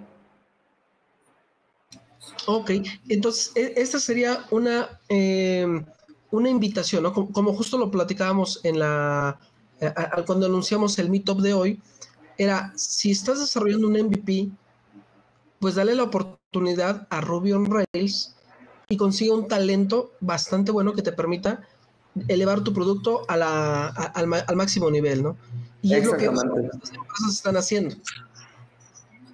Sí, la verdad es que si tú entiendes el concepto de modelo vista y controlador, eh, pues te, invito a que le des una oportunidad a Ruby on Rails. Si te fascina mucho la programación orientada a objetos, dale una oportunidad a Rails y descubre por ti mismo la gran cantidad de opciones que tú tienes en, el mercado y no solamente eso, sino la extensa variedad de empresas a las que tú puedes trabajar. Perfecto, sí, tota-, totalmente de acuerdo contigo, Ken. Y bueno, pues ahí tienen una, una opción más para tener su stack lo más avanzado posible. Muy bien, tenemos otra pregunta de Federico Rodríguez eh, y nos dice, ¿conoces alguna empresa o core bancario en México que utilice Ruby on Rails? Sí, de hecho, la, este, quienes conocen Conecta, eh, la plataforma de, pagos para poder este, hacer tus integraciones de pagos como tipo Stripe, eh, ellos utilizan mucho la parte de Ruby. Eh, ellos se inspiraron un poquito más en la parte de Stripe. La arquitectura que utiliza Stripe viene basada en Ruby on Rails. Obviamente todo su code base viene, viene más en Ruby que Ruby on Rails, ¿no? Ruby on Rails prácticamente es, es el puro modelaje de la pura plataforma. Eh, pero Conecta, tengo entendido que ellos también utilizan la parte del mismo stack que utiliza Stripe para poder ofrecer sus servicios de, pago. Ese es, el, ese es el primer ejemplo que yo les puedo dar.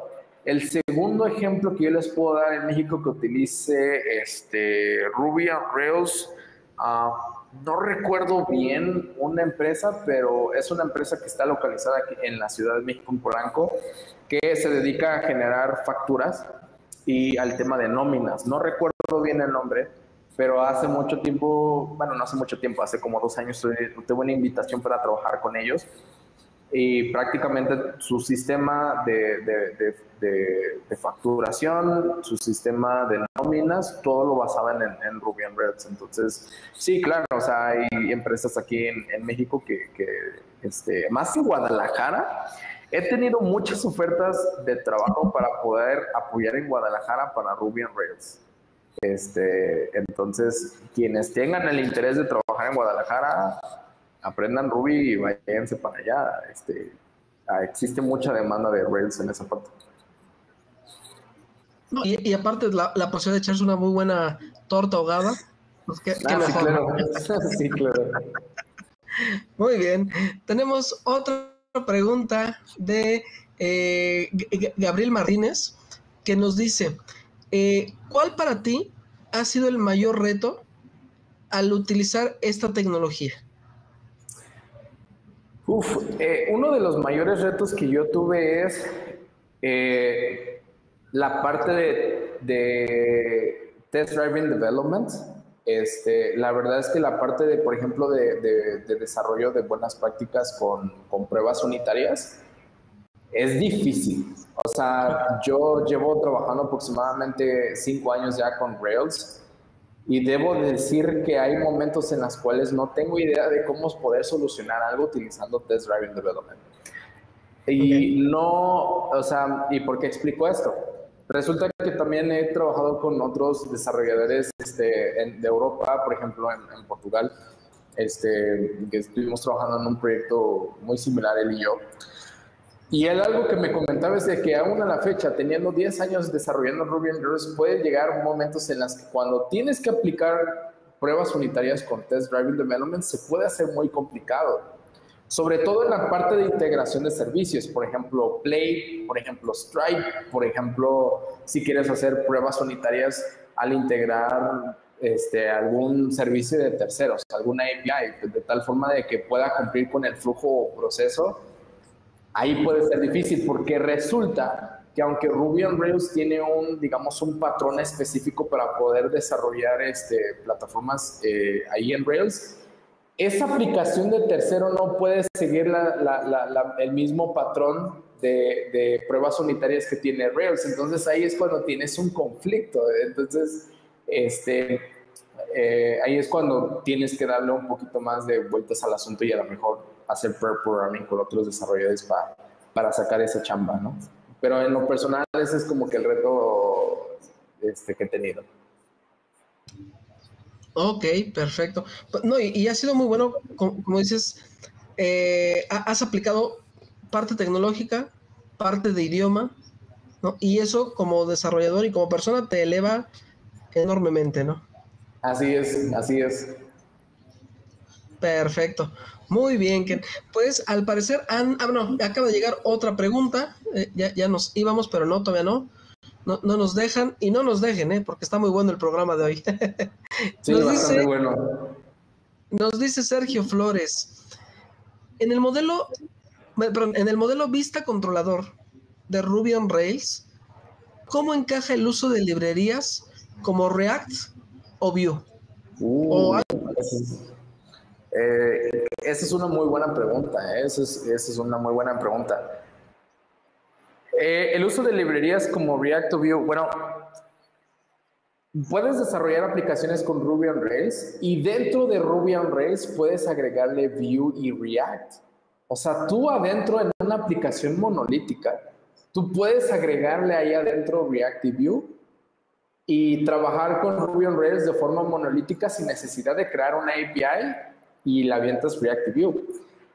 Eso para mí es, es fascinante. ¿Por qué? Porque si tú quieres, si tú ya de cajón ya tienes React View ahí adentro, en la sangre, y eres frontend y, y, te interesa el lado del backend, puedes empezar a desarrollar Ruby on Rails, aplicaciones con Ruby on Rails desde ya. O sea, lo único es, igual, métete en la, en la parte de, de cómo funciona el flujo de aprendizaje, modelo vista y controlador, y sacas la chamba, o sea, literalmente. O sea, puedes crear cosas increíbles con eso.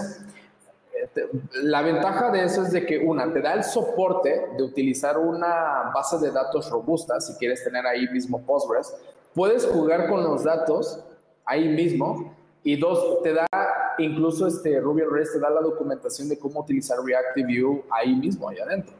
Entonces, para mí yo creo que eso es este, bastante importante saberlo y decirlo, porque existe un miedo para, no, bueno, no tanto un miedo, sino existe como un bloqueo para las personas que desarrollan en front, que se les empieza a hacer complicado pasarse al tema del back y les apasiona también el tema del back, pero no lo hacen por eso mismo, ¿no? Porque piensen que a lo mejor mezclar este tipo de cosas los va a, complicar demasiado. Y Ruby on Rails da esa facilidad para quienes lo quieran intentar y quieran experimentar. Entonces, eh, eso, es, eso es lo que yo pues, les, les diría, ¿no? Intenten, experimenten y van a ver que van a sacar cosas muy chidas.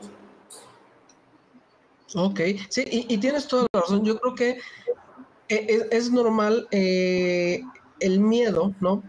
Pero al mismo tiempo ahí tenemos una muy buena oportunidad, ¿no? Para darle la vuelta, aprender algo nuevo.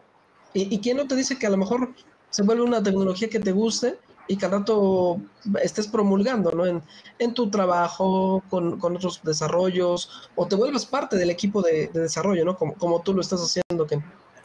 Curiosamente hubo un, un, un, este, un desarrollador que tenía ese mismo conflicto y terminó creando un framework de un framework en Ruby on Rails.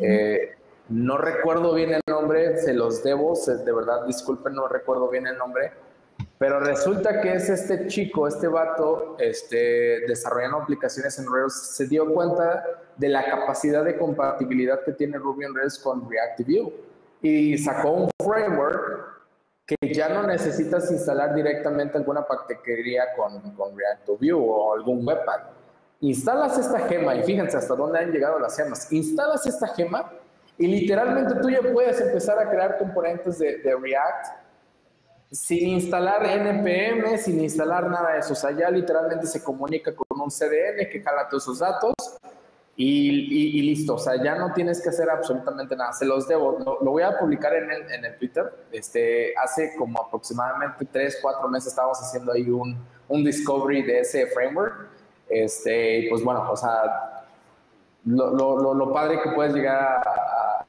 experimentar con ese tipo de cosas. Ok, perfecto. Y, no, se olviden que todos los hilos que ahorita nos está compartiendo Ken, los vamos a mandar el enlace en el canal de Telegram. Así que no, no se lo pierdan. Ahí, si no tienen el canal de Telegram, lo acabamos de poner justo en los comentarios para que se inscriban y ahí estén y ahí con gusto les estemos mandando toda la información. Además están casi todos nuestros invitados del, programa. El señor Kraken personalmente contesta todos y cada uno de los mensajes. Y ahí estamos, ahí estamos pasándola a todo mecate. Muy bien, tenemos otra pregunta que te acaba de llegar también de Felipe Rodríguez. ¿Qué le dirías a un gerente de tecnología sobre cómo utilizar Ruby on Rails? Ok, esa es muy buena pregunta. ¿Qué le diría? Bueno, si van a empezar un nuevo proyecto, yo lo que yo les diría es, dense el chance de descubrirlo y realmente vean si lo que van a construir con Ruby on Rails es, les conviene. O sea, si realmente la visión que tienen para construir ese producto final les conviene utilizando Ruby on Rails. La segunda es si se sienten cómodos utilizando Ruby on Rails, porque incluso pueden ver technical project managers que tienen experiencia utilizando ciertos lenguajes de programación, a lo mejor PHP, en, mucho, en su mayoría de casos a lo mejor project managers ya traen historial de PHP, traen historial a lo mejor de Java. Entonces, eh, la idea de esto es que tengan esa flexibilidad y decir, ¿sabes qué? Vamos a darle un tiro a Ruby on Rails y a ver hasta dónde puede este, eh, abarcar esto. Donde yo he visto en donde tienen esa dificultad es en la parte de cómo se organizan utilizando Rails. Y como ya menciona, necesitas pocos desarrolladores de Rails, pocos project managers, unos cuantos frontends y tienes un producto final. Entonces ahí es donde yo veo que les cuesta a veces un poco como que adaptarse a esa parte, Pero vamos, o sea, a todos se acostumbra uno, ¿no? Ok, perfecto. Pues ahí lo tienen, ya para que no, no, lo piensen más y empiecen muy pronto un, Discover con, con, su equipo de tecnología. Estamos seguros que les va a encantar y pues ahí les vamos a dejar algunos enlaces que les van a ser bastante, bastante útiles. Muy bien, pues por el momento han terminado las preguntas, estimado Ken. Entonces vamos a ir a una sección que son nuestros patrocinadores, porque gracias a ellos y gracias a, nuestros invitados es que este programa es posible. Así que no, no, se vayan todavía porque viene, viene lo mejor. Y ya nada más que nos diga nuestro señor productor, si es que ese es su verdadero nombre, que ya está disponible la publicidad y nos dicen que ya, que ya está disponible. Eh, mi estimado Ken, ahorita con, con este frío, eh, eh, también tú, Efren, ¿cómo les caería un delicioso mezcal?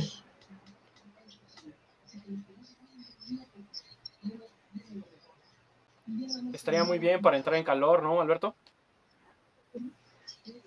Yo creo que sí, porque fue una muy buena, muy buena charla. Nos echamos ya un, un ratote hablando de Ruby on Rails. No, está buenísimo, mejor, ¿no? yo creo que de aquí nos vamos, ¿no? A, tirar código en, con Ruby on Rails. O de menos de ver cómo se instala, ¿no? ya de perdida. sí, sí, sí, claro. Muy bien.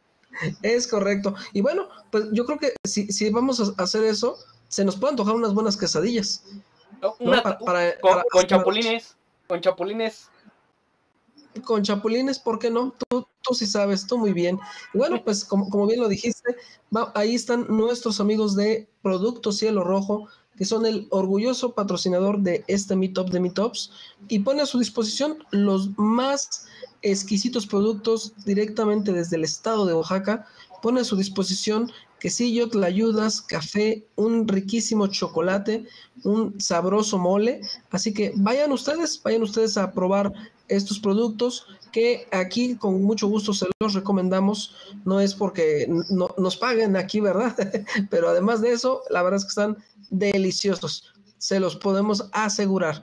Y bueno, pues si usted eh, quiere adquirir estos productos, visite Facebook, Instagram o Telegram, Producto Cielo Rojo o si usted utiliza Twitter, pues vaya a arroba prot cielo rojo. Porque mi estimado Efren, los productos cielo rojo. Qué buenos son. Qué buenos son, es correcto. Muy bien, vámonos, vámonos con nuestro siguiente patrocinador que también hace posible este programa.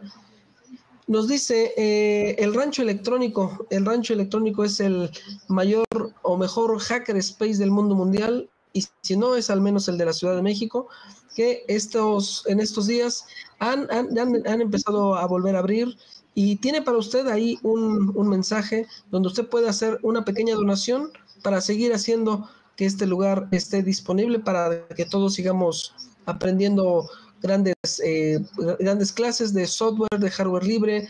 Eh, apenas tuvimos el taller de nuestro amigo eh, Jucaoma de León, que posiblemente, usted lo escuchó aquí, va a haber una segunda sesión, una segunda sesión para la, eh, para su propio, para, perdón, para crear su propio teclado customizado. Ya no le, no le piense más, vaya e inscríbase. Y bien, pues ahí tiene usted la página para poder hacer su donación. Vámonos, este, vámonos con el tercer.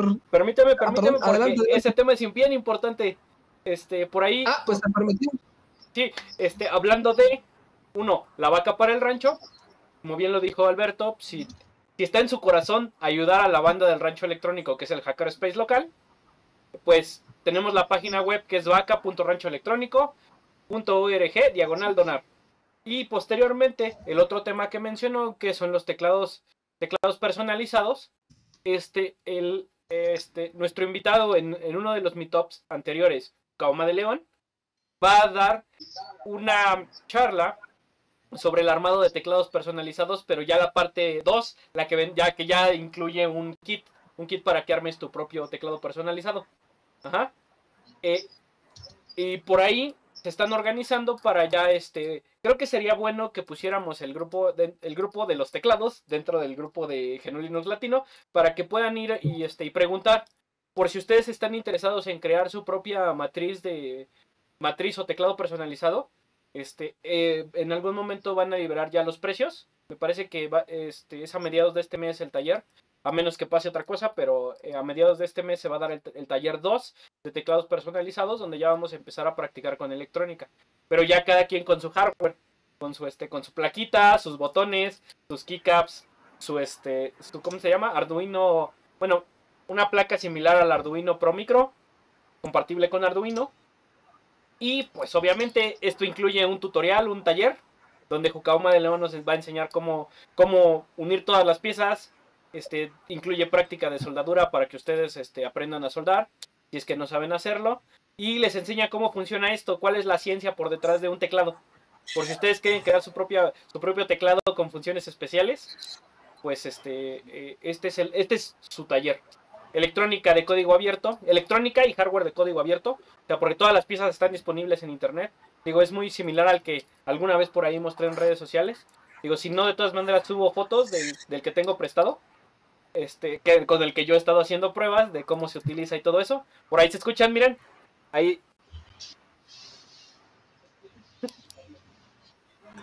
Eso que se escucha es un teclado mecánico con, con switches clicky. Bueno, también para que entiendan la diferencia entre los switches, también eso, eso también lo enseñó Jukaoma. Pero este, pues por ahí estén pendientes porque los kits parece que van a ser limitados. Para la gente que esté interesada, pues igual puede adquirirlo ahí y el mismo día se este. Vamos a tratar de que todos logren, logren tener su teclado andando, ¿no? Con sus capas y todo lo demás. Pero bueno, ese era el comercial del, del, taller de teclados personalizados, por si gustan hacerlo. Es una pequeña matriz la que se está contemplando de dos botones, desde, va desde dos botones hasta, este, hasta 16 botones más encoder. El encoder es como una perillita que les permite hacer funciones como subir o bajar volumen, editar videos, por ejemplo. Bueno, si gustan de eso, pues podrían hacer su propio, o su propio stream, stream Deck, Stream Deck de, de código abierto. Por si quieren manejar su OBS, pues aquí está. Ajá. Y nos seguimos con, los, con las promociones. A ver, nos vamos a ir un segundito porque este es un video. Esperemos que se vea como nos lo envió. Un saludo a Claudia Casiopea. Ya estuvo también por acá en el Meetup. Y estos son, son este, es el producto que ella ofrece, capacitación en Blender. Y va.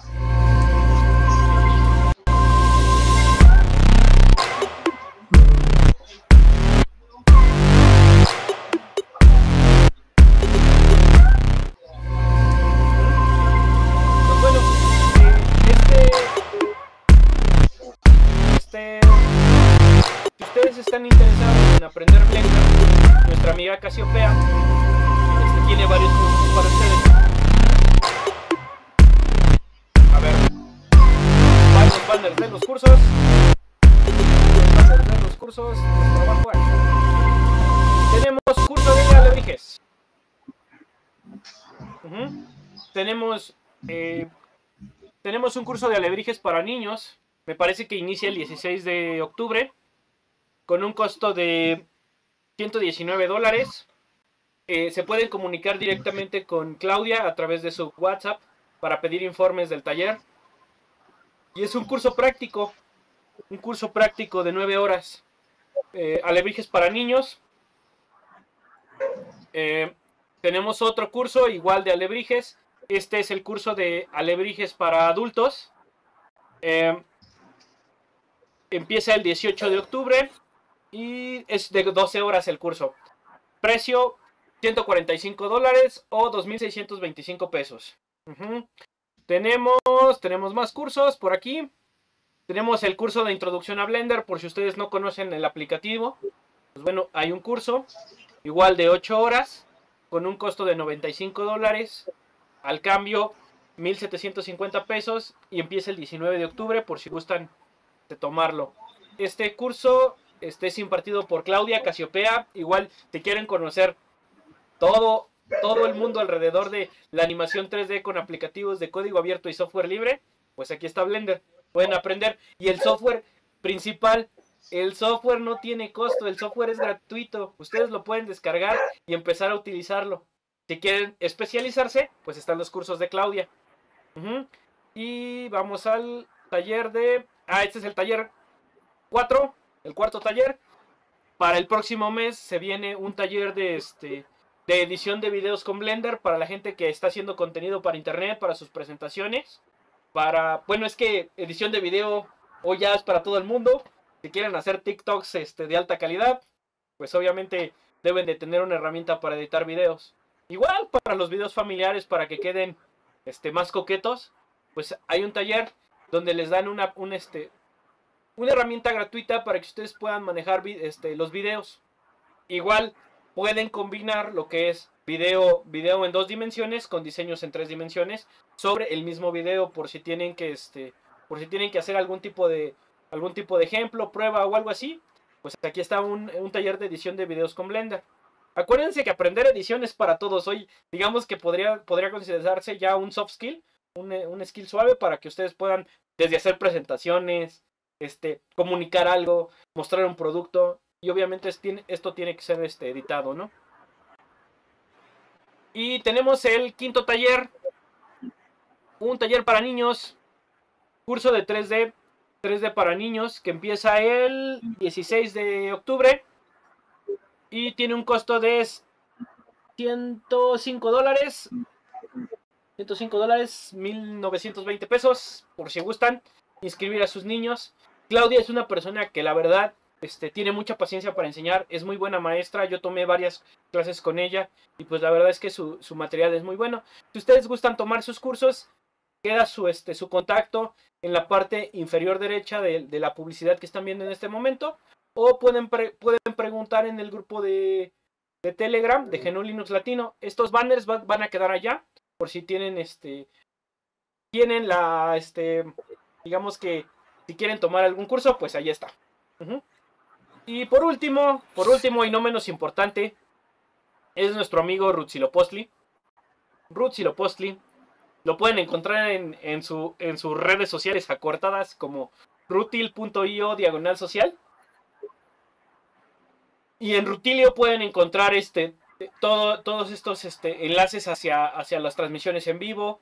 Este, tenemos ahí eh, las diferentes redes sociales de la gente de Rutzilopostli, que es una comunidad hermana que nos permite transmitirles todas estas charlas en conjunto con GNU Linux Latino. Hay otros proyectos como el Rancho Electrónico y también está Fedora México, que es una, que bueno, su servidor forma parte de la comunidad y este, y de cierta manera, pues, entre todos tratamos de difundir el contenido que se va haciendo de forma libre y abierta a través de un montón de redes sociales. Y estamos llegando ahorita a lo que es Facebook, llegamos a YouTube, llegamos a Twitch, en varias, en varias cuentas, así que pues bueno, si están, están interesados, vayan a las redes sociales de, de Rutzilo Postly, síganlo, ellos están en Twitter, Facebook, YouTube, Instagram, TikTok. En TikTok déjenle mensajes, el señor, el señor Rutzilo Postly los va a atender de una forma impresionante. Es un gran amigo, Alex Callejas, gracias por ayudarnos. Y pues igual también están en Twitch. Ajá. Y pues esperamos un momento a que regrese nuestro nuestro locutor principal. Ah, ya está de vuelta. Se terminaron los patrocinios, Alberto. Continuamos con el. Es correcto. Es correcto, como bien dijiste, se han acabado los patrocinadores, e, estos pequeños cortes comerciales que son los que mantienen este bendito programa. Y bueno, llegamos al momento más esperado, más esperado de la noche, Vamos a, vámonos con el, este reconocimiento que, ya que nos diga nuestro señor productor, ya está ahí él. Eh, tenemos para ti, estimado Ken, este certificado digital, el 0.6.4, por la gran charla que has compartido con nosotros esta noche en el Meetup de Meetups con el tema Ruby on Rails y su impresionante demanda en startups. Quienes firmamos, mi, mi estimado co-conductor Efren Robledo y un servidor. Te lo haremos llegar de manera digital vía correo electrónico y cuando la situación de pandemia COVID-19 nos lo permita, pues ya te lo entregaremos físicamente. Un fuerte abrazo y agradecerte por esta gran noche que has compartido con nosotros tu experiencia. No, de verdad, muchas gracias a ustedes también. Igual manera, este, uh ha sido una experiencia increíble poder contar con muchas personas que quieran aprender Ruby on Rails, tienen esa curiosidad. Eh, pues nada, eh, seguimos aquí en contacto, ahí tienen mi Twitter, eh, cualquier pregunta relacionada a lo mejor no con Ruby on Rails, con cualquier otra tecnología, con DevOps, este, pues con mucho gusto y de nuevo, o sea, te agradezco mucho por la invitación, me, me la pasé increíble. No, qué bueno. Y, justo antes de que, terminemos, estimado Ken, eh, viene ahora sí el cierre del programa. ¿Cuál sería un consejo y el punto final de esta charla, estimado Ken, para todos los Genio que, que ya se desvelaron junto con nosotros en este Meetup número 64? Ah, momento, momento. Falta mi ah, pregunta. Ah, ah. Faltó mi pregunta. Tengo una pregunta pendiente. Ah, bueno, pasamos con la pregunta y ya nos pasamos con esto. Bueno, reitero mi pregunta, sí, para que cerremos bien, porque si no nos vamos a brincar un paso. Este, me acordé, perdón. perdón por interrumpirte, Alberto, pero tenemos una pregunta pendiente aquí con Ken. La pregunta era: Adelante. Dentro de tus proyectos o tus desarrollos o tus implementaciones con Ruby on Rails, ¿cuál ha sido el proyecto que menos gemas ha ocupado y cuál ha sido el proyecto que se ha extendido y ha utilizado un montón de gemas? uno de los proyectos que he utilizado muchas gemas ha sido relacionado con un proyecto de finanzas. Este, obviamente no, puedo mencionar el nombre, pero fue un proyecto relacionado, fue un proyecto relacionado con finanzas y se estaba saliendo de control. O sea, literalmente se estaba saliendo de control porque nosotros habíamos detectado que, este, como manejaba muchas consultas a aplicaciones de terceros al SAT, para quienes son de otros países, el SAT es nuestra, digamos, nuestra como onda fiscal aquí en México que revisa temas de facturación y de IVA. Entonces, eh, pues prácticamente nosotros teníamos que estar haciendo muchas consultas. El problema venía que estas consultas no venían de ninguna forma este, seguras, ¿no? Este, se puede dar en algunas integraciones con algunas plataformas de gobierno en la cual pues la documentación no es buena, la seguridad no es buena. Entonces nosotros teníamos que empezar a implementar este, gemas que tenían, que venían más relacionados con la onda más de seguridad este, eh, de network, ¿no? O sea, de seguridad de redes. Eh, Ruby Rails es bueno manejando seguridad en redes, pero obviamente es algo que se sale de su scope, la seguridad informática. Entonces, llegamos a, tener un total de aproximadamente 82 gemas. Es algo increíble, la verdad es que era espeluznante la, cantidad de gemas, pero bueno, la plataforma salió todo bien, todo en orden y pues se lanzó y ahí estamos todos felices y contentos de que la plataforma siga este, cumpliendo su objetivo. Y la otra me mencionaste cuál era la que menos, eh, la que menos este, gemas utilizó. Sí. sí, este, es un este fue un proyecto de mi actual esposa, este, la cual ella es nutrióloga, entonces este, la verdad es que era, la onda era muy sencilla. Poder proveer contenido acerca de, nutrición en base a cursos.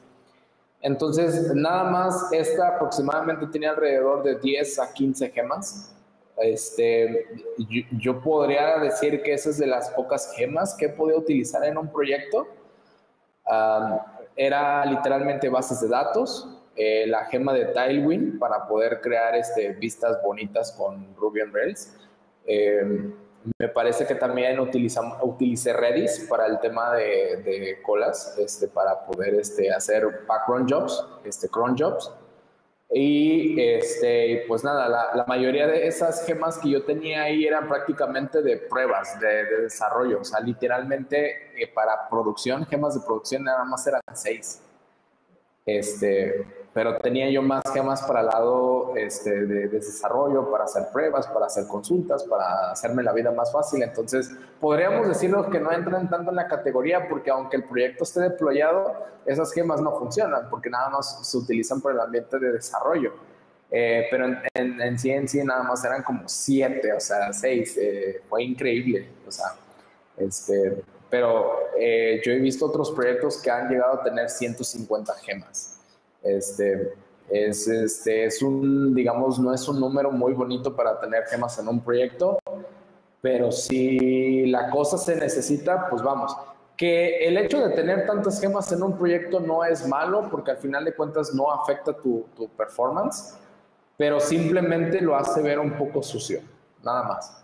Eso es todo. Ok, bueno, ese, ese es un muy buen punto. Entonces, digamos que Digo, siempre tratamos de preguntarle su experiencia a, la gente que nos visita, en el, acá en el Meetup, pero está bien chido lo que estás diciendo.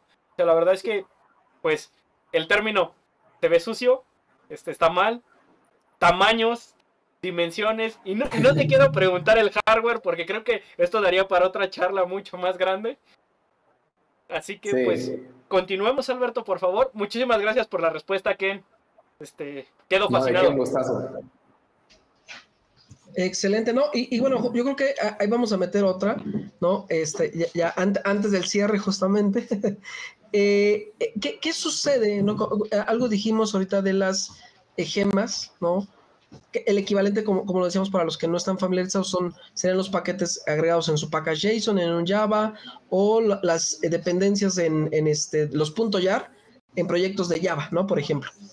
Eh, pero ¿cómo, impacta o de qué manera eh, le beneficia o le, altera el proyecto que tenga más o menos eh, gemas en este caso? Muy buena pregunta, muy buena pregunta. Este, en, Ruby, en, Rails existen muchas formas de poder llegar a, soluciones. Digamos que la, la, más correcta es utilizar gemas. Y es que aquí te va algo, es ¿para qué vas a crear algo si ya existe? Es decir, ¿para qué vas a reinventar la rueda? ¿Para qué voy a crear un sistema para poder crear logins y registrar usuarios si ya existe esa gema? O sea, ¿para qué vas a reinventar la rueda? ¿Vas a hacer algo personalizado? ¿La empresa lo pide? ¿Dan más presupuesto para eso? Vamos, hazlo. Pero si no, vete con la gema. O sea, no hay ningún... Eh, en, el mundo Ruby on Rails existe como cierto shame, como cierta pena utilizar ciertas gemas para algunas cosas, por ejemplo, para definir roles, administradores, usuarios, para crear este, logins, e incluso existen gemas en Ruby on Rails para poder este, escribir queries pequeños. O sea, existen gemas en Ruby on Rails hasta para hacer un select from where este, en, en consulta de base de datos y es totalmente aceptable. No afecta en nada el hecho de que si tengas 10 o 15 o 20 o 30 o 40. Eh, y es, es, curioso porque en el mundo de pacas JSON eh, sí afecta. sí, sí, sí existe una relación muy abismal dependiendo de las dependencias, sobre todo porque cuando haces el build de un proyecto en, en JavaScript y tienes ¿Qué, te gustan? A lo mejor más de 100 dependencias ahí que están fallando porque tienen choques con la versión de Node, no es bonito. Y Ruby no, o sea, Ruby se mantiene siempre en una versión estable de sus gemas, es decir, yo puedo meter 15 gemas y dentro de esas 15 gemas este, son compatibles con la versión de Ruby que estoy corriendo. Vamos a poner una, por ejemplo, una 2.7, la 2.7.2, que es la mejorcita de Ruby. Pero mis versiones de gemas pueden ser más o menos, no importa, siempre van a seguir siendo estables, o sea, siempre se van a quedar ahí este, estables. Entonces, no afecta en nada la cantidad de gemas que tú puedas tener en el proyecto. Ok, perfecto. Bueno, pues ahí ya lo tienen, ya tenemos eh, algo más claro dentro de un proyecto de Ruby, ¿no? Y que al final, pues nos, no, nos deja más que con emoción de querer aprenderlo. O no sé si me equivoco, Efren. No, la verdad es que sí. Suena interesante, digo, este, siempre hay que aprender nuevos lenguajes, pero en específico esta semana que hemos tenido, que hemos tenido Ruby on Rails, este, me estoy repensando ciertas cosas. O sea, desde el punto de vista de implementaciones, ¿no? O sea, digamos que estas cuestiones de que ya existan cosas prefabricadas para salir más rápido a producción, pues la verdad es que sí impactarían a la hora de crear, aunque fueran plataformas sencillas para, como yo les decía, este, servicios federados, ¿no? Servicios para, un ejemplo, para una cooperativa pequeña, ¿no? Una plataforma pequeña. O sea, va a haber, por lo que entiendo, va a haber cuestiones como voy a poder crear un login. Digo, por el ejemplo que nos pone exacto, sí.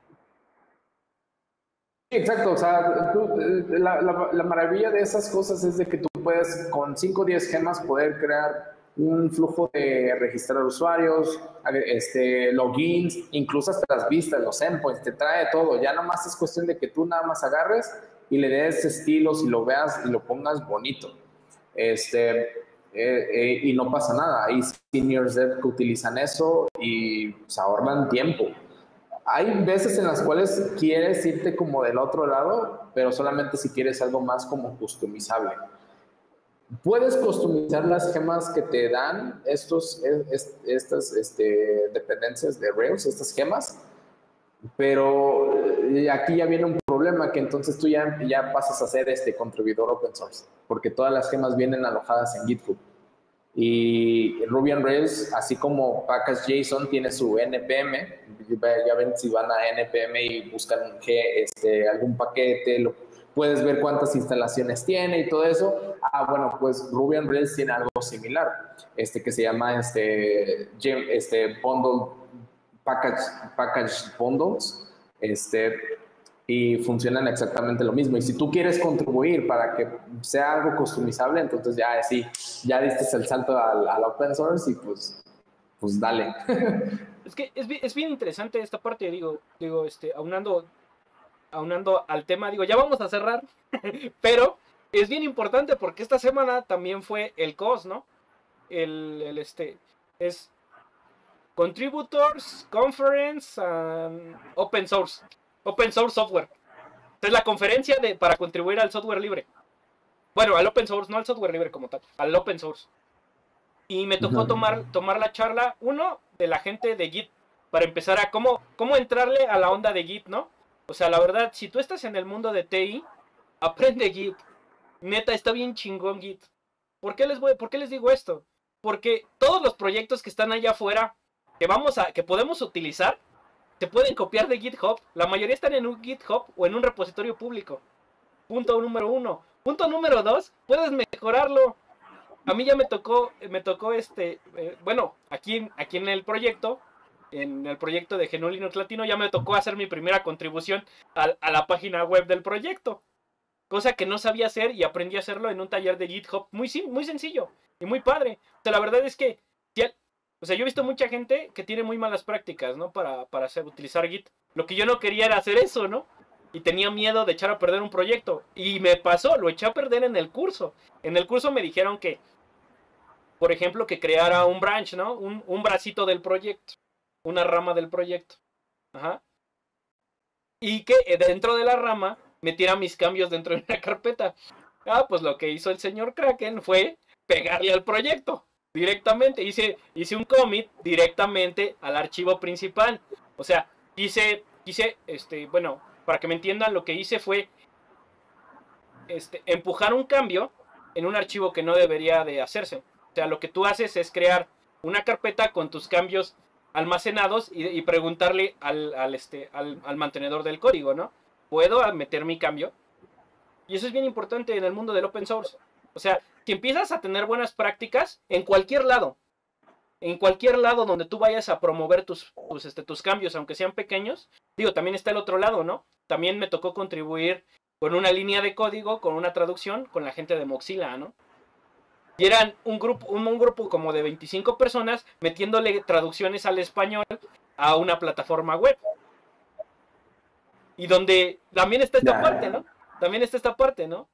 De, por ejemplo, les pregunto a ustedes, ¿qué es más correcto para ustedes? ¿Hablarle de tú o hablarle de usted, de usted al usuario? ¿Tienes un navegador web o ah, una plataforma web?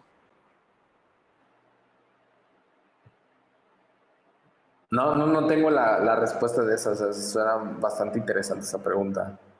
ah, pues bueno. Creo que es un eh, es, una cosa comunitaria, ¿no? Es una cosa. Bueno, si es open source, a la gente le hablas de tú. ¿Por qué? Porque desarrollas un, sistema de confianza. Tú confías en la gente que branchea cosas, o sea, que, que hace una, un fork de tu producto o de tu proyecto y te propone cambios, ¿no? ¿Sabes que Esto funcionaría mejor de esta forma. Y hay un comité o sea, gente, gente como nosotros que decide entre varios de si esa palabra es correcta o no. En este caso mi ejemplo es, es settings.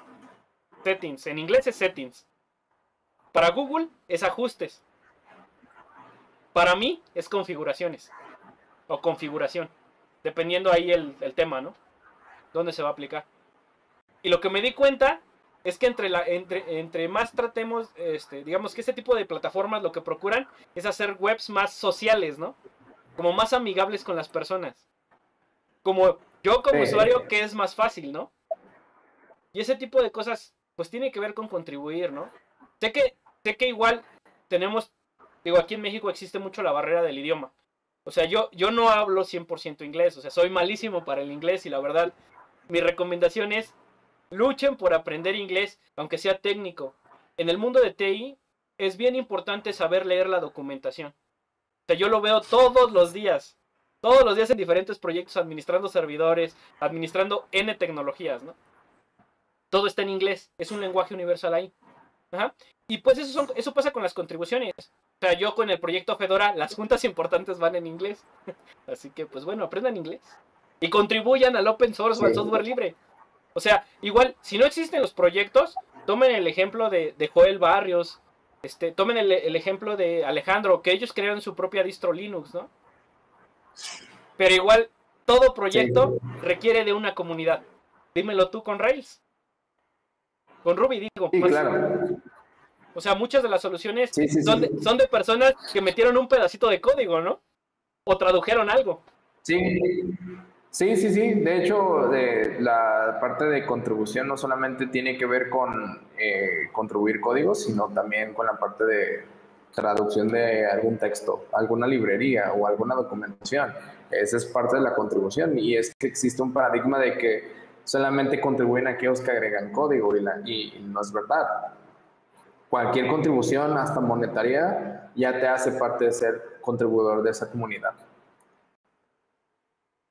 Y lo, van a ver en diferentes lenguajes de programación. La mayoría de los lenguajes de programación son mantenidos por seres humanos, no son mantenidos por empresas, ¿eh? Déjenme decirles que eso es un sueño muy bonito cuando la empresa le avienta un montón de dinero, pero la mayoría son gente como nosotros metiendo cambios.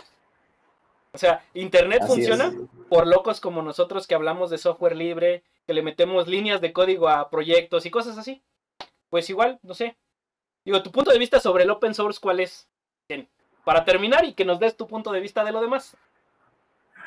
Sí, mi punto de vista sobre el open source viene siendo eh, muy importante. Este, creo que el open source es la forma en la que define a un desarrollador y en la cual se demuestra la pasión que tú tienes por contribuir hacia la tecnología si tú quieres crear un mundo mejor, si tú quieres poner un pedacito de ese grano de arena en una tecnología que sabes que va a alcanzar su máximo poder o incluso ya llegó a un nivel establecido dentro de una comunidad larga y tú contribuyes, estás haciendo de un lugar muchísimo mejor porque tú qué sabes si esa tecnología está salvando vidas, tú qué sabes si esa tecnología está siendo ocupada en sectores médicos, farmacéuticas, o sea, tu contribución sea pequeña o grande, es muy bien recibida y siempre ten en cuenta que este, tu contribución siempre va a ser apreciable y en algún momento de algún futuro cerca, es lejano, ese código que tú agregaste, sea muy pequeño, va a seguir funcionando para muchas personas. Así que anímense a dar sus contribuciones este, no tengan miedo, la verdad es de que todos como desarrolladores aprendemos algo nuevo, no tenemos absolutamente el conocimiento garantizado y pues nada, este, cero, cero síndrome del impostor, nada de eso. Ah, hablando de, ahora, ahora que Ken lo menciona, en Fedora están trabajando en una, en una versión que se llama Neurofedora, donde están haciendo neurociencia. Ahí por si les interesa o, o le hacen a la neurociencia, pues es una herramienta que, un montón de contribuyentes están integrando herramientas para hacer neurociencia. Hay una herramienta también, un Fedora con una versión de Fedora para astronomía, por si quieren hacer cosas igual de ciencia.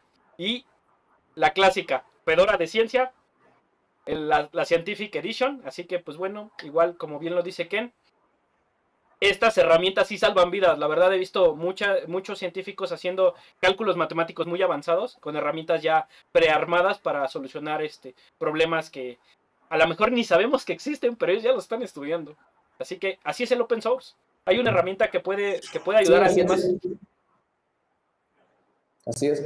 Eh, acabo de publicar en mi Twitter la lista de recursos que yo recomiendo para aprender Ruby on Rails. Si ahí tienen ahí el Twitter, este, Created by Ken. Este, lo acabo de publicar ahorita hace 8 segundos.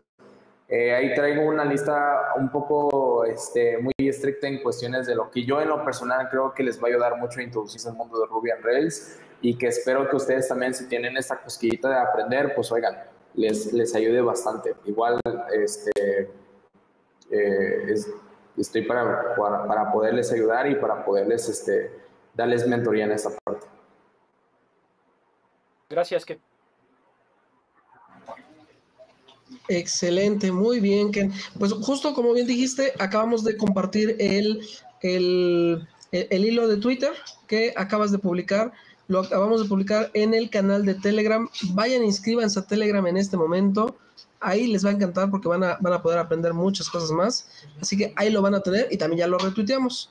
Y sigan a Ken Sánchez en arroba created by Ken. Muy bien, ahora sí que punto final para todos nuestros genio que nos han acompañado en esta noche del Meetup 64. No, pues gracias, gracias a todos ustedes, que tengan excelente noche y pues bueno, les agradezco mucho esta charla, fue, fue una de las mejores charlas que he tenido y les deseo mucho éxito en, su mito.